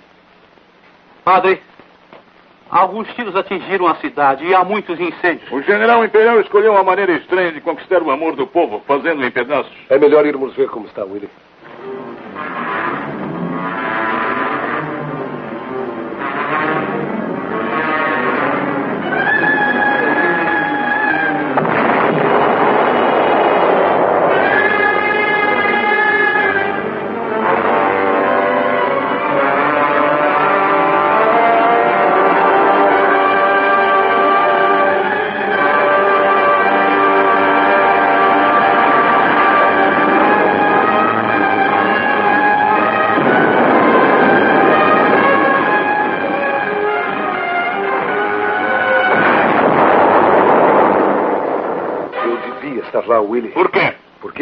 Padre? Em breve, quase toda a sua congregação estará salva aqui em cima. Desculpe, mas por que pensar que querem ali numa hora dessas? Não pretendo ser desejado em parte alguma. Mas a bondade de Deus está em toda parte. Não tenho direito de confiná-la por trás dos muros da missão.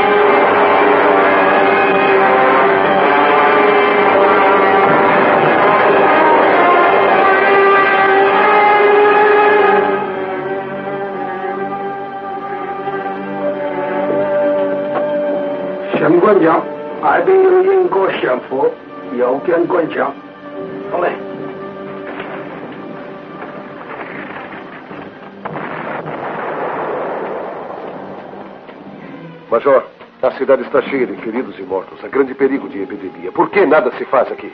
O que Shenfu sugere? Há um médico inglês que está fazendo o que pode, mas precisamos que alguns de seus homens ajudem e devemos ter uma casa que sirva de hospital. Sou bastante infantil para pensar em ajudar meus irmãos civis, mesmo sem recompensa, mas não posso ceder nenhum dos meus soldados. Homem, vocês lutam para libertar o povo chinês. São os chineses que precisam de vocês para salvarem suas vidas. Eu não vejo sentido em dar de novo a vida a quem está morrendo para que o general Wei torne a matá-los com o seu canhão. É tão desesperada a situação. Não temos artilharia nenhuma. Até que cheguem meus prometidos reforços, teremos sido inevitavelmente massacrados. Shenfu, quando chegar à sua missão, deve fazer uma oração por nós. Não vou voltar à missão. Vou para a Rua dos Cesteiros. O que o senhor e o seu médico podem fazer sozinhos? Tudo bem que pudermos enquanto for possível. Espere. Terá o seu hospital, Shenfu. O juiz imperial é um covarde, um ladrão. Requisitamos a casa dele. E vou pessoalmente arrombar sua porta da frente.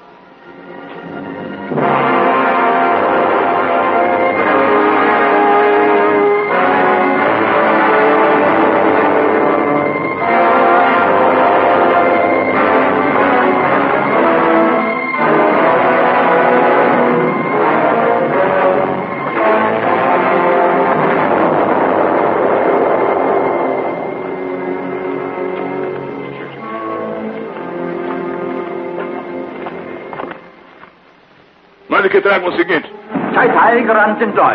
E lembre-se, deve determinar que um pelotão varre esse chão continuamente com desinfetante. Isso é coisa muito importante. É confortador saber que quando formos atingidos, seremos os cadáveres mais esterilizados de Paitã. Deve lembrar-se que a pureza está ligada à limpeza. Talvez esteja. Mas nunca vi pureza matar vermes. E não fique chocado, é uma questão de religião. Ele crê em Deus, você provavelmente conta com Confúcio e opõe a minha fé na profilaxia. Enquanto isso, eis um paciente para nós dois.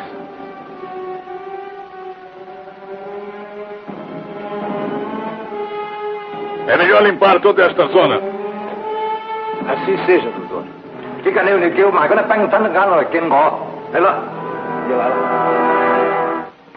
Não é uma ideia bonita, Francis, mas é vitalmente necessário nos desfazermos dos que morrem. Nessas circunstâncias, esse é o único método adequado. Em nenhuma circunstância queimar pode ser chamado método adequado, Willie. Depende do ponto de vista. Pela minha parte, eu vejo esta aldeia sem água fresca e higiene correta. Eu vejo a peste esperando para penetrar nessas choças miseráveis cheias de mortos insepultos. Nós temos uma responsabilidade para com os vivos, Francis. Sim, temos. Parece que não há alternativa.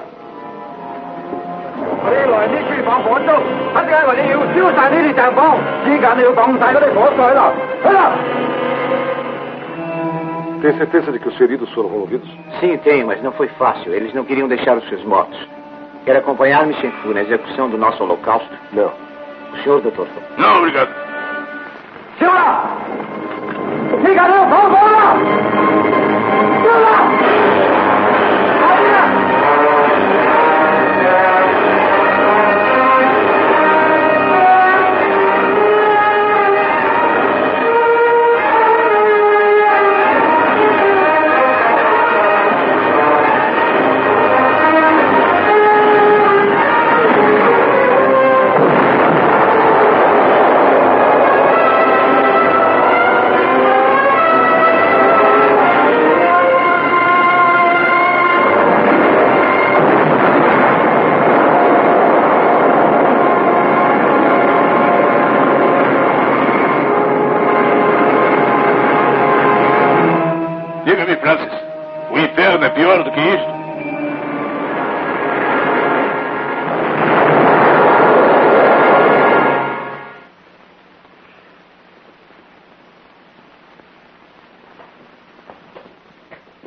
está subindo e o maldito canhão foi dormir.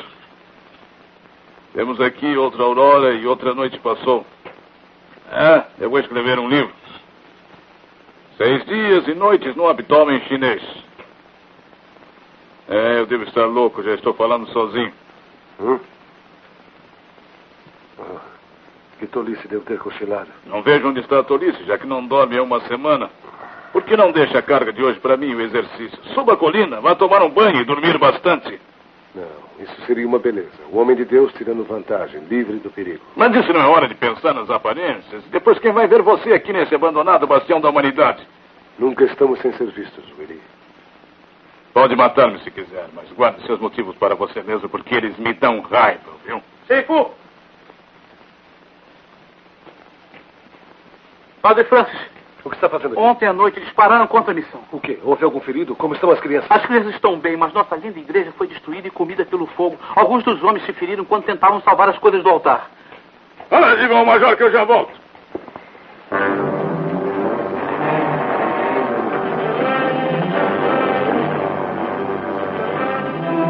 Venha, padre, venha por aqui. E mantenha a cabeça baixa.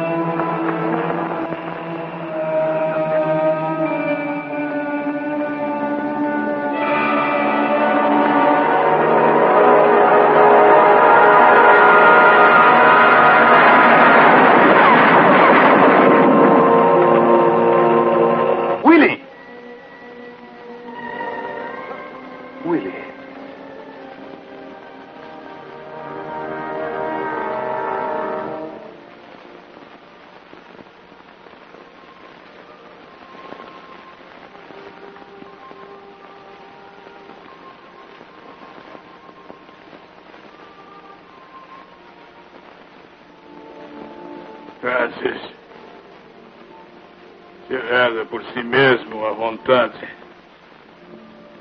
Se é por mim, está perdendo o seu tempo. E o do todo poderoso também. Deixemos que ele mesmo julgue isso. Minha respiração baixa. Minha febre sobe. E mergulho no vale das sombras. E Francis, ainda não posso crer em Deus. Está zangado comigo? É claro que não.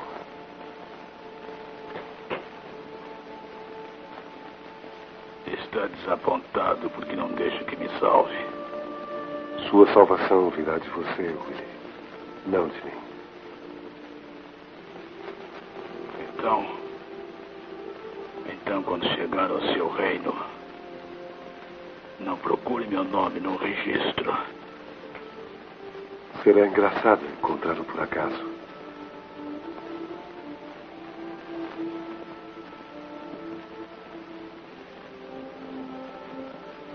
Francis. Jamais quis tanto bem a você como agora. Porque não tentou me empurrar para o céu.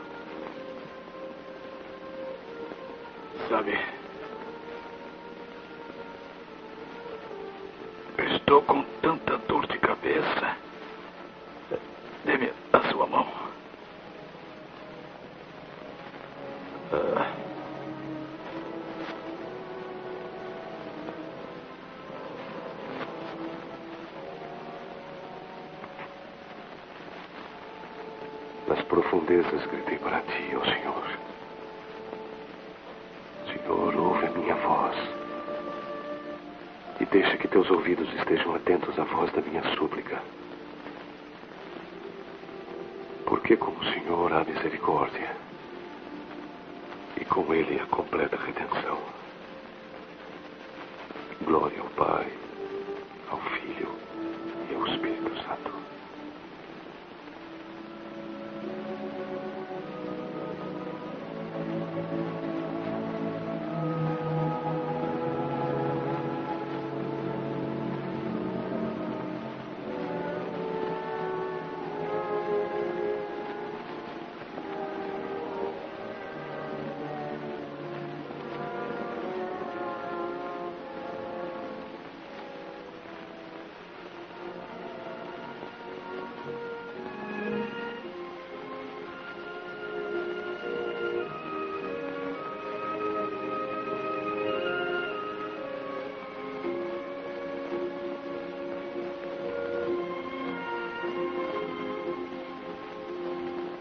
De certo modo, minhas ações podem ter sido responsáveis pelo bombardeio da igreja. No fim da tarde de ontem, vários soldados feridos chegaram ao ambulatório. Eu mesma me encarreguei de admiti-los. Não havia outra coisa a fazer. Eu teria feito o mesmo. Deve ser um grande golpe para o senhor ver sua linda igreja tão perversamente destruída. Ninguém pode destruir a minha igreja. Vou torná-la a construí-la. Enquanto tiver vida, vou construir minha igreja. Padre, padre. Padre, o capitão imperial, o tal que comanda o canhão, está aqui. Quer que o senhor fale com ele. Está bem.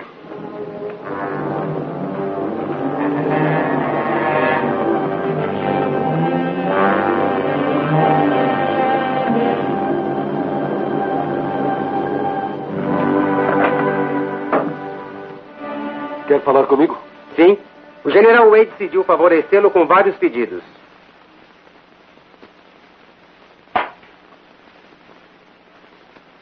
Primeiro, vai parar de dar abrigo ao inimigo ferido. Os feridos estão acima da luta, não podem causar dano a ninguém. Segundo, o general Wade lhe concede a honra de contribuir para seus mantimentos. Sua primeira contribuição será de 800 libras de arroz e toda a comida enlatada americana que possua. Nós já temos falta de comida e eu não tenho intenção de permitir que nos. Terceiro, é essencial que todos os homens chineses sejam imediatamente liberados de sua profissão para alistarem-se no exército do general Wei. E o que acontecerá se eu declinar da honra de concordar com esses pedidos? Já teve uma ligeira indicação. Em menos de meia hora serei capaz de reduzir a sua missão. Apoie quem nela estiver. 给我看一看，给我看一看。不就对。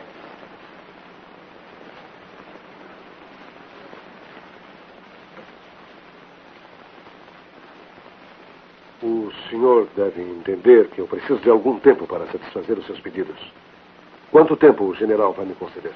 Possivelmente até amanhã. Contanto que me entregue até a meia-noite de hoje no meu posto de tiro uma oferta pessoal de produtos enlatados, suficientemente valiosa para que constitua uma oferta decente. Parece que não tenho alternativa. Estarei no seu posto de tiro esta noite. Ótimo. Vou esperá-lo. Aconselho-o a não falhar. Vamos!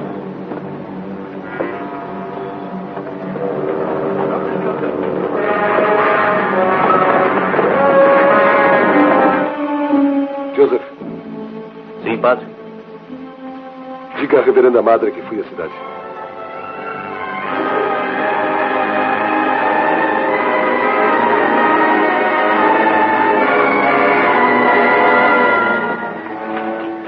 Major Shen, suponha que fosse possível capturar o canhão do General Wei. Uns 20 dos meus homens estão agora explicando aos seus ancestrais por que não é possível. Eu sei. Soube que vários estão sendo recolhidos à sua missão, pelo que lhe agradeço. Shenfu, se eu pudesse chegar perto dessa arma desonrosa, eu a demolia. Mas não posso. Há um meio de chegar perto. Como? Eu não duvido da sua bondade. Mas permita-me duvidar de sua habilidade de realizar milagres. Tive ordem de levar comida e dinheiro ao capitão no comando do canhão esta noite, antes de meia-noite. Amigo, você é um imerecido presente do céu. Acho que andei meio esquecido do céu esta noite. Então concentre-se intensamente no que vou lhe propor.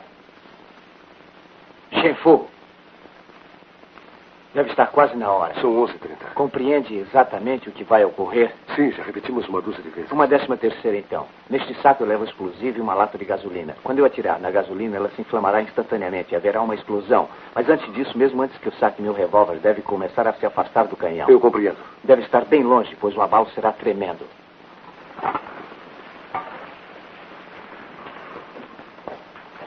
Capitão, assim que Shenfu e eu sairmos, conte até 250 lentamente. Depois siga-nos com seus homens com cuidado. Quando ocorrer a explosão, ataque com sucesso. É só. Sim, senhor. Acenda agora a tocha se quiser. Marcha lá. E por amor do seu Senhor do céu e do seu corpo perecível, conserve-a longe deste saco.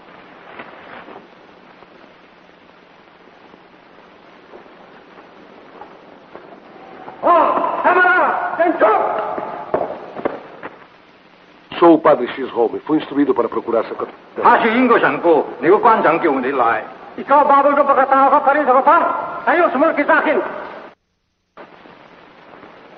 Kan ze hem gewoon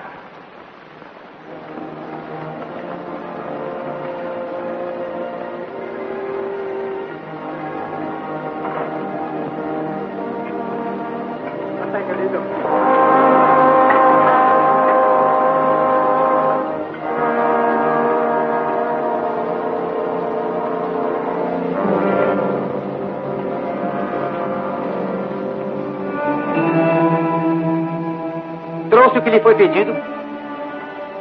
Trouxe-lhe uma carga de comida enlatada que espero lhe impressione. E trouxe algum dinheiro também. Entregue-me. Está bem. Quer segurar? Quero garantias de que minha missão não será molestada. Não só a missão não será molestada, mas amanhã vamos ocupá-la para que fique sob nossa proteção. Mas me deu a sua palavra de que. Deixe de conversa e dê dinheiro.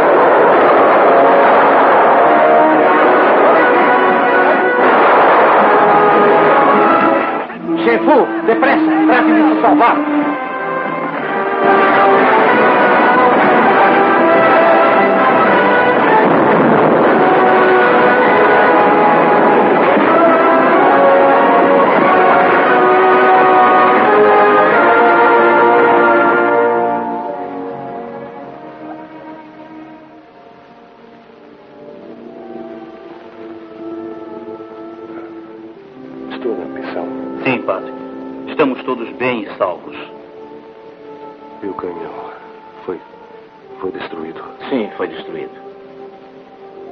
32 dos inimigos ficaram em pedacinhos.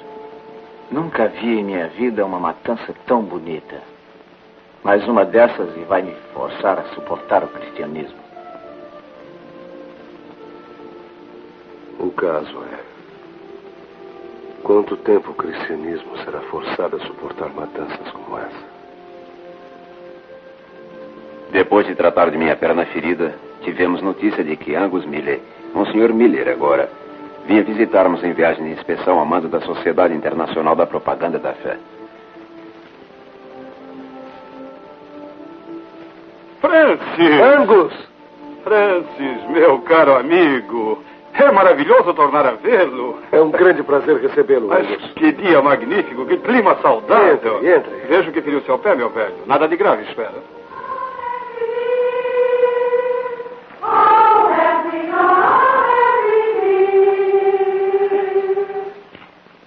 Muito bem, crianças. Muito obrigado, muito obrigado. Irmã? Oh, a irmã Maria Verônica. Reverenda Madre, como tem passado? Como vai, monsenhor? A irmã Clotilde. Irmã Clotilde? A irmã Marta. Irmã Marta? Como tem passado? Como tem passado? Mas é um esplêndido estabelecimento. É esplêndido. Lamento não poder me demorar mais do que um dia, uma noite, mas sabe, eu devo continuar a minha viagem amanhã. Mas por hora deixe-me encher cada momento com as lembranças da nossa bela missão. Angus, há uma coisa que eu quero lhe dizer. Depois, meu caro amigo, depois. Vamos roubar esses primeiros momentos para apreciar a felicidade desta reunião de camaradas. Depois de um banho quente, repouso, eu. Eu. Francis. Eu não compreendo. Mas, mas o que aconteceu com a sua igreja? Nós sofremos alguns reveses, Angus.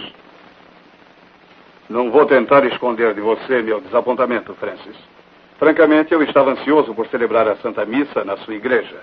Seu desapontamento não é maior do que o nosso, Angus. Eu tinha até prometido uma conferência na nossa sede em Londres. A missão de Santo André ou Deus na China Sombria. Bom, isto coloca-me, coloca todos nós em desagradável posição. Lamento muito, eu tentei explicar. Oh, não, eu não recrimino você. Não foi sua culpa, eu sei. Contudo, se a reverenda madre não houvesse irritado esse perverso... Ela fez exatamente o que eu teria feito. Você teria agido de forma diferente? Oh, não, não, claro que não. Mas há muitos meios de contornar dificuldades, Francis. E uns mais satisfatórios do que outros. Também temos nossas dificuldades em casa. A reorganização necessária depois da morte do bispo McNabb. Não. Ora, não lhe disseram. Bem, eu sinto muito.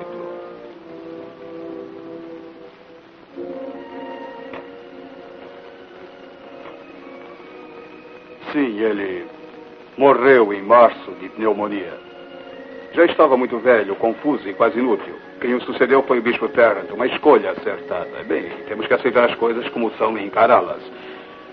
Agora que eu estou aqui, farei o possível para endireitar tudo. Tenho tido bastante experiência nesses assuntos, sabe? Talvez até você se interesse em ouvir um dia como eu. Sabia que é um bom padre. Aí agora descobriu como somos assustadoramente humanos, hein? Não posso deixar de pensar que está na igreja não por acaso, mas por uma razão. Vamos, vamos acatar a vontade do Todo-Poderoso. Hã? Parece que estou deprimindo muito você. O que acha então de um breve passeio? À noite, depois do jantar, podemos receber a reverenda madre e mantermos uma conferência paroquial em mesa redonda. Creio que está a caminho de outro desapontamento, Angus. A reverenda madre não sai da casa das irmãs depois da hora do jantar. Tolice! Apenas não a convidou corretamente, garanto. Eu tomei a liberdade de mandar-lhe um convite. Ela. Ela virá na certa. Vamos, Francis.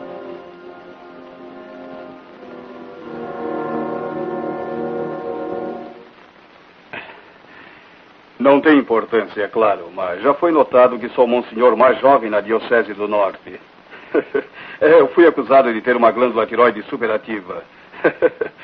um copo de vinho, reverenda madre. Não, obrigada. Oh, mas é de primeira classe, garanto-lhe um bom amontilado. Não, Francis? Sim, obrigado. Aceito. É um pouco viajado, talvez, pois venho comigo de casa. Sabe, eu devo admitir que a China me fascina. E discordo violentamente de alguns do nosso mundo que ainda consideram os chineses uma raça inferior.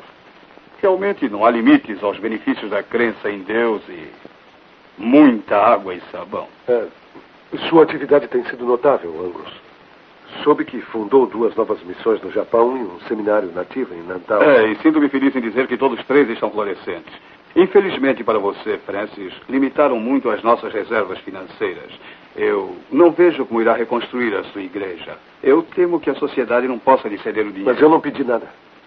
Se ao menos tivesse tido mais sucesso com alguns chineses de melhor classe, os ricos comerciantes, se ao menos seu amigo, o Sr. Xia, tivesse se convertido. Não, não se converteu e já foi muito generoso. Eu não vou pedir a ele nem mais um vintém. Bem, o problema é seu, mas devo lhe dizer francamente que nos mapas de nossa sede, o seu nível de conversões é o mais baixo, Francis. Suponho que os missionários diferem em suas capacidades individuais. Oh, certamente ninguém duvida da sua capacidade, Francis. É só a sua maneira de fazer as coisas. Viver pessoalmente em estilo tão pobre, comendo na, na cozinha e tudo mais. Olha, é preciso impressionar os nativos, usar mais aparato. Mas acontece que os chineses odeiam esse tipo de ostentação. E os padres que a praticam são considerados desonrados. Refere-se aos reles padres pagãos deles, presumo. Nem sempre os pagãos são reles, assim como nem sempre os cristãos são altos. Muitos de seus padres são homens nobres e bons. Bem, seja como quiser.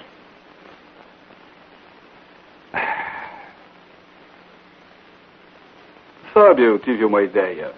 Ainda posso fazer a conferência em Londres. Meu assunto será os perigos e dificuldades do campo missionário. Deus castiga os seus. Não lhe parece atraente, Reverenda Madre? Eu estou certa que meu julgamento pouco vale junto à sua vasta experiência em tais assuntos. E agora é hora de retirar-me. Posso levá-la à sua casa, Reverenda Madre? Meili e eu podemos ir bem. Não precisa incomodar-se, meu senhor. Ora, não é incômodo, garanto-lhe. E depois a senhora pode ter alguns assuntos facilmente discutíveis fora da presença do padre Francis. Padre Francis está a par de todos os meus problemas. Bem, nesse caso falaremos de sua ilustre mãe, a baronesa, que tive o prazer de conhecer em Viena o ano passado. Muito obrigada. Boa noite, Padre Francis. Boa noite, Reverenda Madre. Boa noite, Joseph. Eu volto no instante, Francis.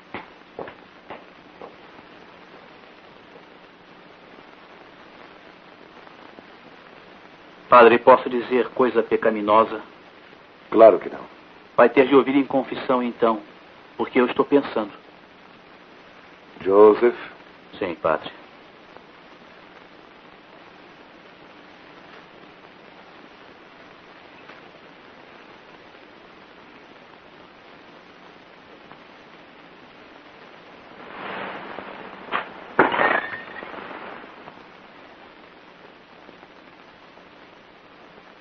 O benefício de muita água e sabão fez a garrafa cair e quebrar.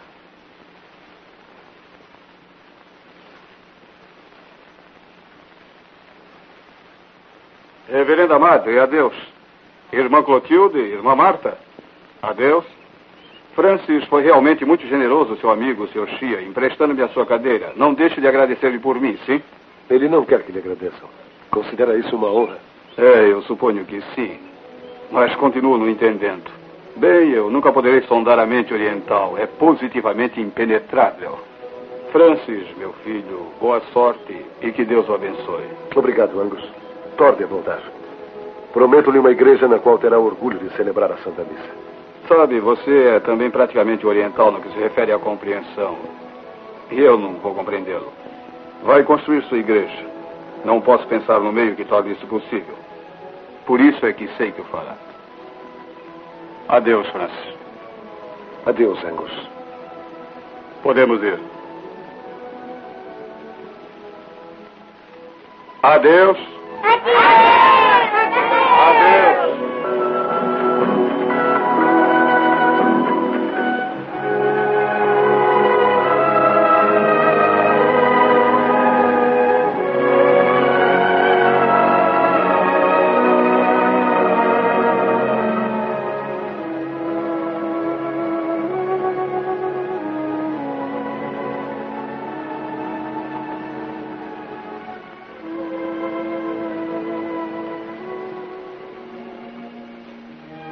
falar com o senhor?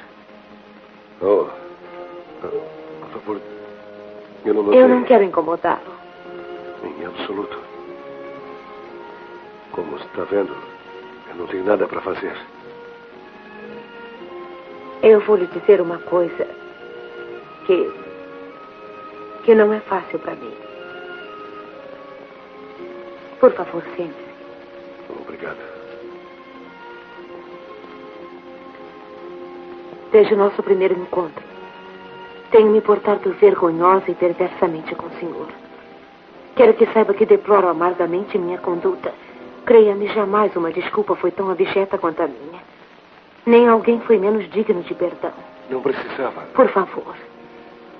É mais fácil para mim falar agora. Torna-se mais fácil a cada palavra. É estranho que meu momento de maior humilhação traga-me uma paz que nunca realmente conheci. Eu nasci na arrogância, padre, ensinaram-me a desprezar os que não eram assim. Como podia esperar viver pela palavra de Deus, que é a mesma para todos os homens? Desde o começo, sua presença me torturou. Sabia que sua humildade era real. A minha um dever. Sua profunda e honesta compaixão me ofendia. Porque a minha era difícil e cheia de dúvida e pena. Ontem à noite pretendia pedir ao padre Angusville para me tirar daqui. Mas quando sentei na sua cozinha, quando vi como humilhava e rebaixava, e senti a magnitude de sua fé e a coragem do seu coração, quando o vi rejeitar o mundanismo desse padre que, que é indigno de desatar os seus sapatos, oh, perdoe-me, padre. Perdoe-me. Tenha pena. Mas não, não há nada pela qual tenha de perdoar. Estou tão contente por, afinal, gostar de mim. Sabe, somos todos filhos de Deus. E com a sua ajuda, trabalhamos e amadurecemos.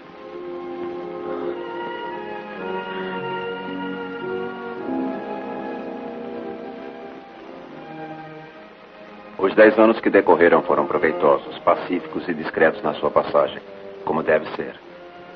Devo anotar, embora não interesse a ninguém, que pessoalmente eles me trataram com extrema bondade, exceto por crescentes dificuldades com minha perna machucada e uma diminuição da capacidade de ver além da ponta do meu nariz. Minha alegria pessoal era uma oficina pronta para tudo, desde o conserto dos bancos da escola à separação da cera do mel.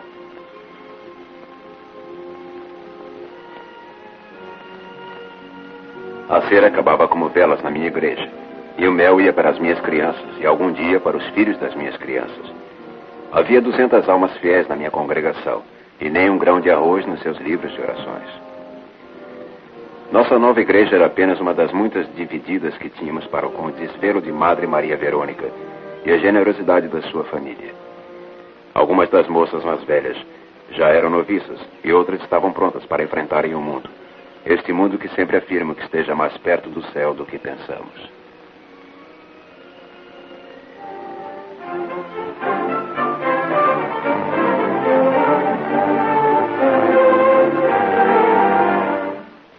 Mel fresquinho, amigos, mel fresquinho. Não é uma pena que ninguém goste. Joshua, diga-me, o que prefere fazer? Aprender seu catecismo ou comer mel? Comer mel. Comer mel. Bem? Pois Deus ama você, Joshua, por dizer a verdade. Por isso vai ganhar porção dupla. Vai lá. Tchau, tchau, tá. Como manteremos a disciplina? Todos terão ciúmes de Joshua. Mas é muito simples. Dê a todos uma porção dupla com os cumprimentos de Joshua. Joseph já lhe deu a notícia? Qual? Que tenciona casar-se? Ora, ele é o último a saber. Essa moça já o fisgou há mais de um ano. Referi-me a coisa menos alegres. Foi aberta outra missão em Paitã. Sim. Alugaram uma bela casa, devem ter muito dinheiro. Ora. Americanos, não é certa? É. É a intenção deles construir um enorme estabelecimento com escolas, tanto para meninas como para meninos, recreios, e um hospital com médico residente. Parece extremamente benéfico. Que denominação tem? É protestante, os metodistas americanos. Sabe, lembro-me quando era menino e ia colher amoras. Sempre me ressentia com os outros meninos que achavam os mesmos arbustos que eu e insistiam em colher suas frutas. Sabia que tinham tanto direito quanto eu e. E contudo. E o que. O que vai fazer com estes meninos? Eu? Vou vestir minha melhor batina, pegar meu guarda-chuva e fazer-lhes uma visita.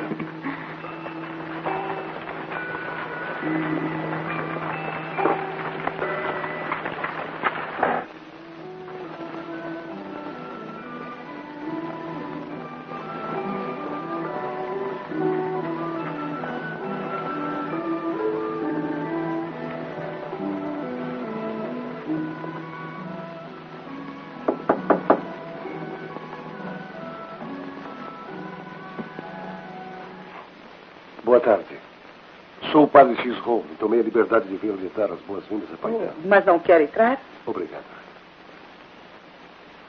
Vai ter de desculpar o jeito das coisas, ainda não nos instalamos. Doutor Fiske é o meu marido. Quem é Agnes? Ele está lá dentro. É uma visita ao Wilbur. Ora, pois mande entrar então. Faça o favor, sim. Será um prazer.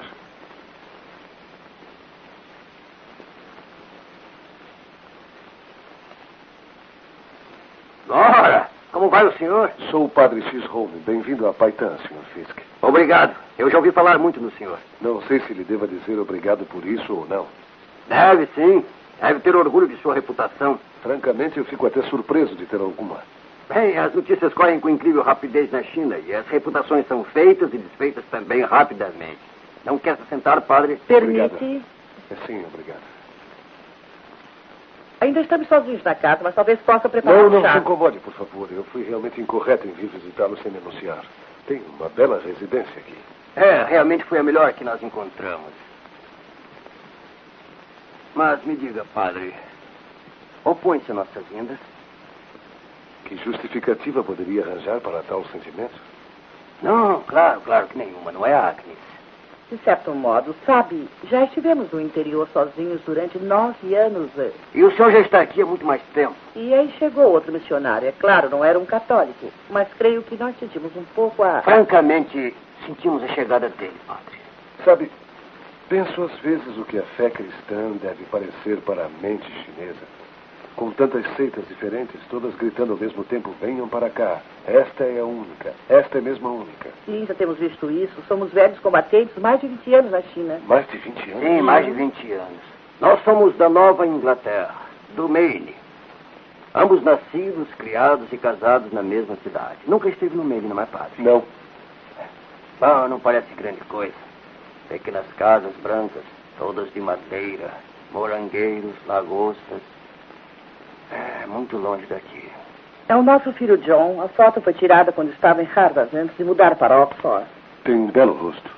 Ainda está na Inglaterra? Está, está trabalhando em instalações. No momento está num lugar chamado Tiny Castle. Tiny Castle, mas é minha terra. Já estiveram lá? Já sim, no ano passado, duas semanas. Eu ainda tenho lá minha família. Isto é, uma tia e a filha de uma velha amiga. Quando estivemos lá, tivemos o prazer de conhecer o reitor da Catedral de Tiny Castle, Monsieur Milley, Angus Milley. Também o conhece? Oh, sim, muito bem. Fomos criados juntos. Esplêndido homem. Sim, esplêndido. Eu achei, assim, digamos, um tanto formal. O que o senhor acha? Formal, não. É... Pedante. O senhor disse pedante? Positivamente pedante. Agnes, ponha o chá no fogo. O padre X. Home e eu vamos apreciar uma boa visita. Muito bom. Muito obrigado por sua hospitalidade. E mais uma vez, bem-vindos a Paitã. Eu não sei lhe dizer como me tornou feliz com sua amizade, padre. Ah, e, e a propósito, eu não sou um mau médico. Permita-me ajudá-lo. Vamos nos ajudar. Ótimo.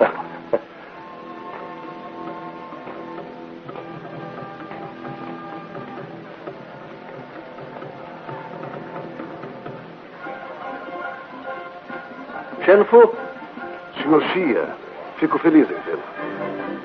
Eu estou certo em presumir que o padre acaba de conhecer o recém-chegado homem santo e sua esposa. Sim, são missionários americanos dos protestantes. Hum, nossa cidade parece atrair mais do que sua cota de bondade. Por mim, não imagino nenhum jardim de missão mais agradável para se passear do que o seu. Obrigado, meu amigo. Lembro-me que quando o padre chegou aqui há muitos anos, recebeu muito mau tratamento, não? Pode ser que eu olhe com desprazer esses novos missionários. Quem sabe se uma série de infortúnios não vai cair sobre esses adoradores do falso Deus e forçá-los a uma partida pesarosa. Eles não são adoradores do falso Deus, Sr. Shia. É o mesmo Deus verdadeiro a quem sirva. Truly, my skull is thick. I am incapable of understanding. Well, each of us travels his own road toward the kingdom of heaven. Though I may think another's to be wrong, still I have no right to interfere with his choice. Is it demanded of the true Christian, then, that he be truly tolerant of others? He is no Christian who is not. Incrível. Gostaria de discutir essa espantosa doutrina com mais detalhes. Meu carro só tem lugar para o meu próprio corpo miserável. Quero rebaixar-se a permitir que caminhe com o senhor? Será uma grande honra. Aceitei o seu costume de saudar as pessoas usando as mãos. Talvez com o tempo considere andar igualmente insuportável. É só quando repasso as páginas deste diário que percebo como o tempo passou por mim.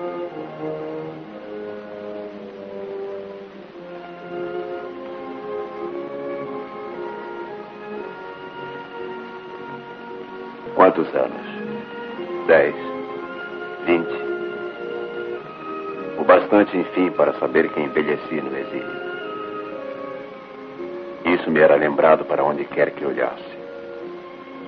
Joseph, por exemplo, com três filhos, quase da idade que ele tinha quando chegou naquela hora sombria. Agora que havia chegado a hora de ir para casa, passava os dias recordando cada rosto, cada pedra, cada árvore da minha amada missão, como se assim pudesse levá-los comigo.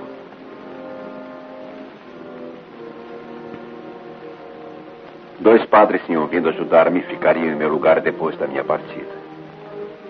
O padre Shao era um jovem chinês do colégio de Pequim. O padre Craig era um jovem americano que tinha sido famoso na Universidade de Notre Dame jogando futebol americano.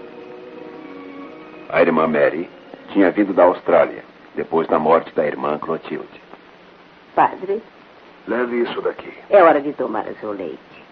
Qual é o objetivo desse tratamento?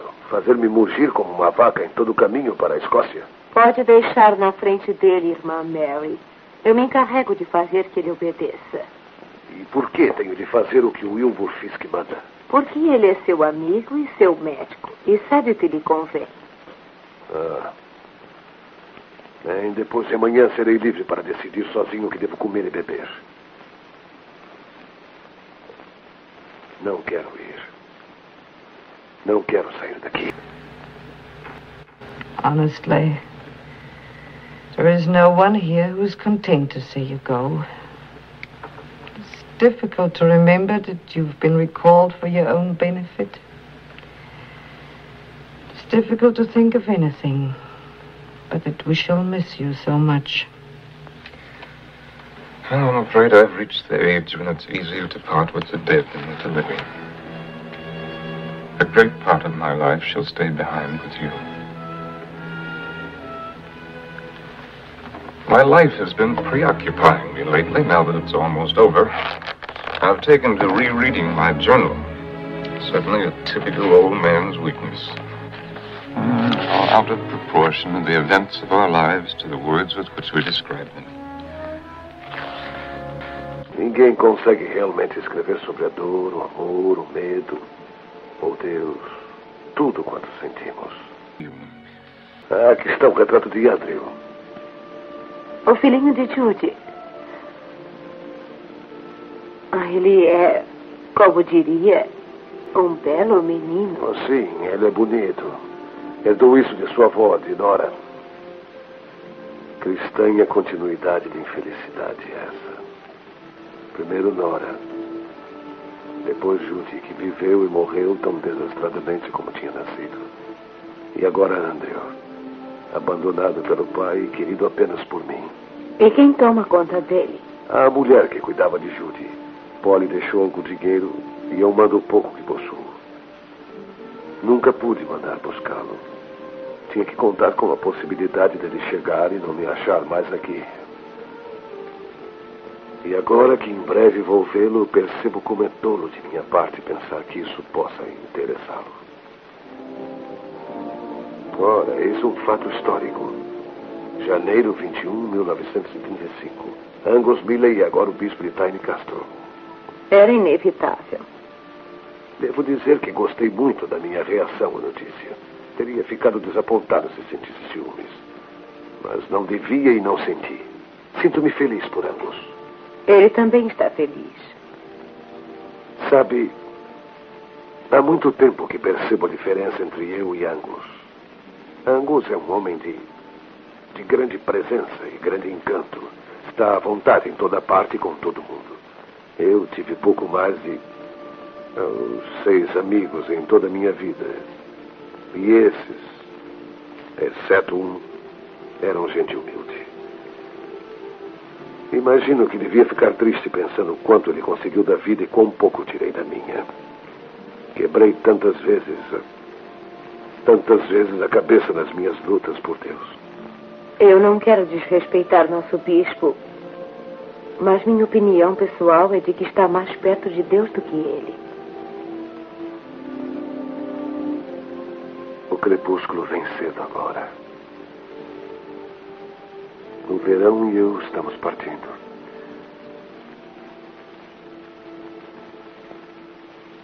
E agora vou escrever a última e a mais triste de todas as notas. Nesse dia, dei a Deus a Reverenda Madre Maria Verônica.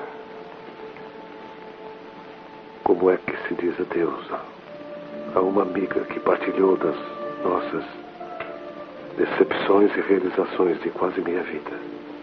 Trabalhamos juntos tantos anos, através de revoluções, pestes, fome e pobreza, e acabamos nos conhecendo muito bem.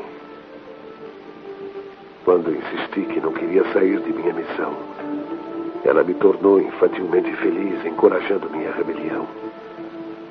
E contudo, ambos sabíamos que não podíamos considerar nossa própria opinião contra a manifesta sabedoria da decisão. E que, citando o homem mais sensato que conheci, devíamos acatar a vontade do Todo-Poderoso.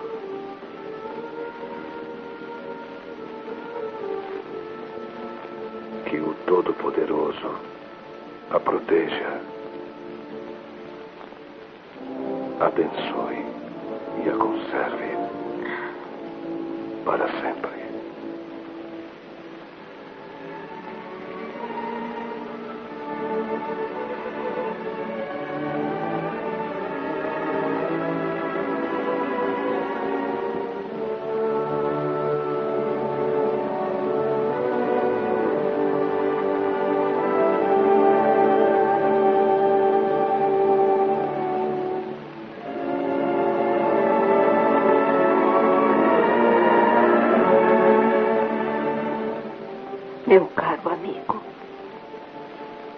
Jamais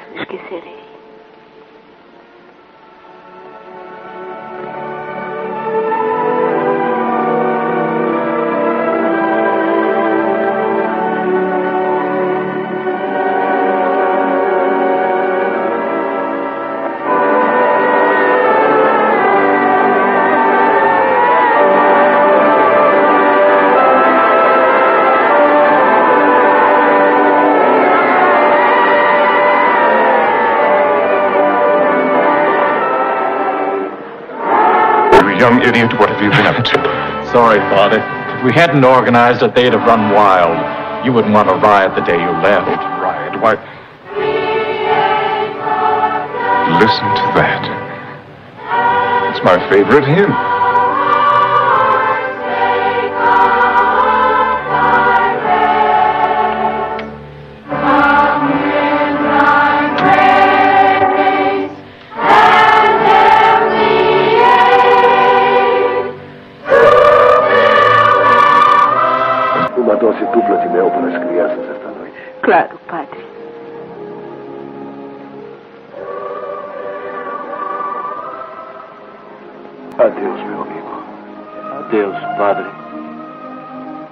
Adeus, filho. Adeus, padre. Deus o abençoe. Muito bem, Ana. Ainda minha garota número um.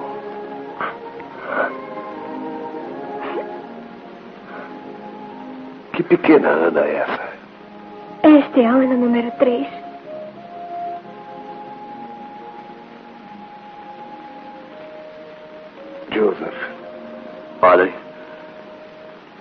Reverendo e digno discípulo do Senhor do céu, é com a maior, a maior angústia que nós, seus filhos, que nós, seus filhos, que nós, que nós, seus filhos,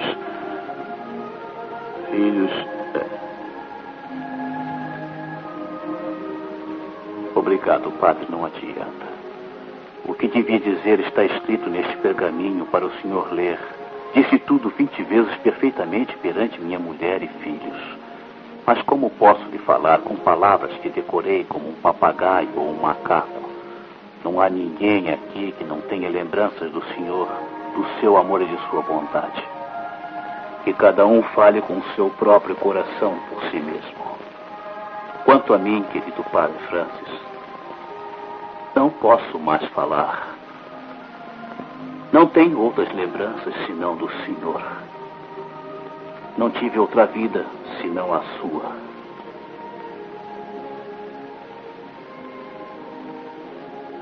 Joseph. Meu mais antigo e leal camarada.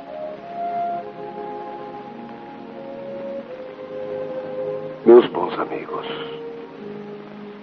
O que posso dizer? Não tenho talento nem o saber das belas palavras para poder expressar o que sinto no meu coração. Iriam apenas ouvir os resmungos de um velho sentimental, mortalmente medroso de fazer um papel de bobo. Vocês deixam que os abençoe a todos. Senhor, deixe que tuas bênçãos mais benévolas caiam sobre esses teus filhos e que tua graça lhes dê paz e contentamento até o fim de seus dias.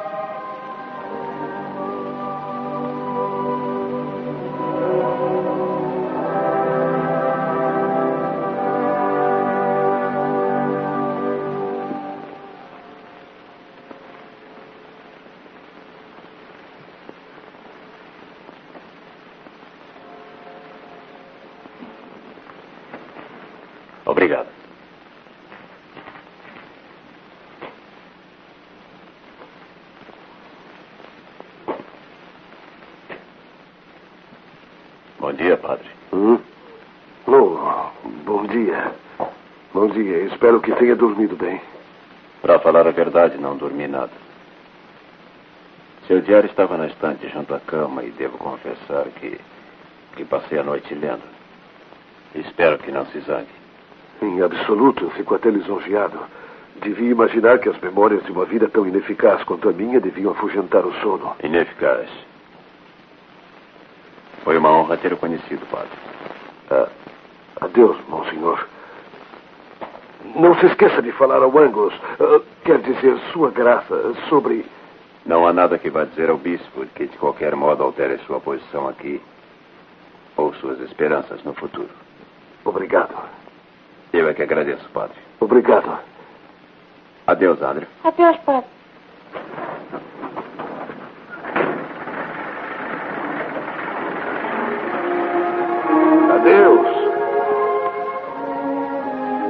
Bem, homem, não fique aí perdendo metade da manhã. Pegue os caniços.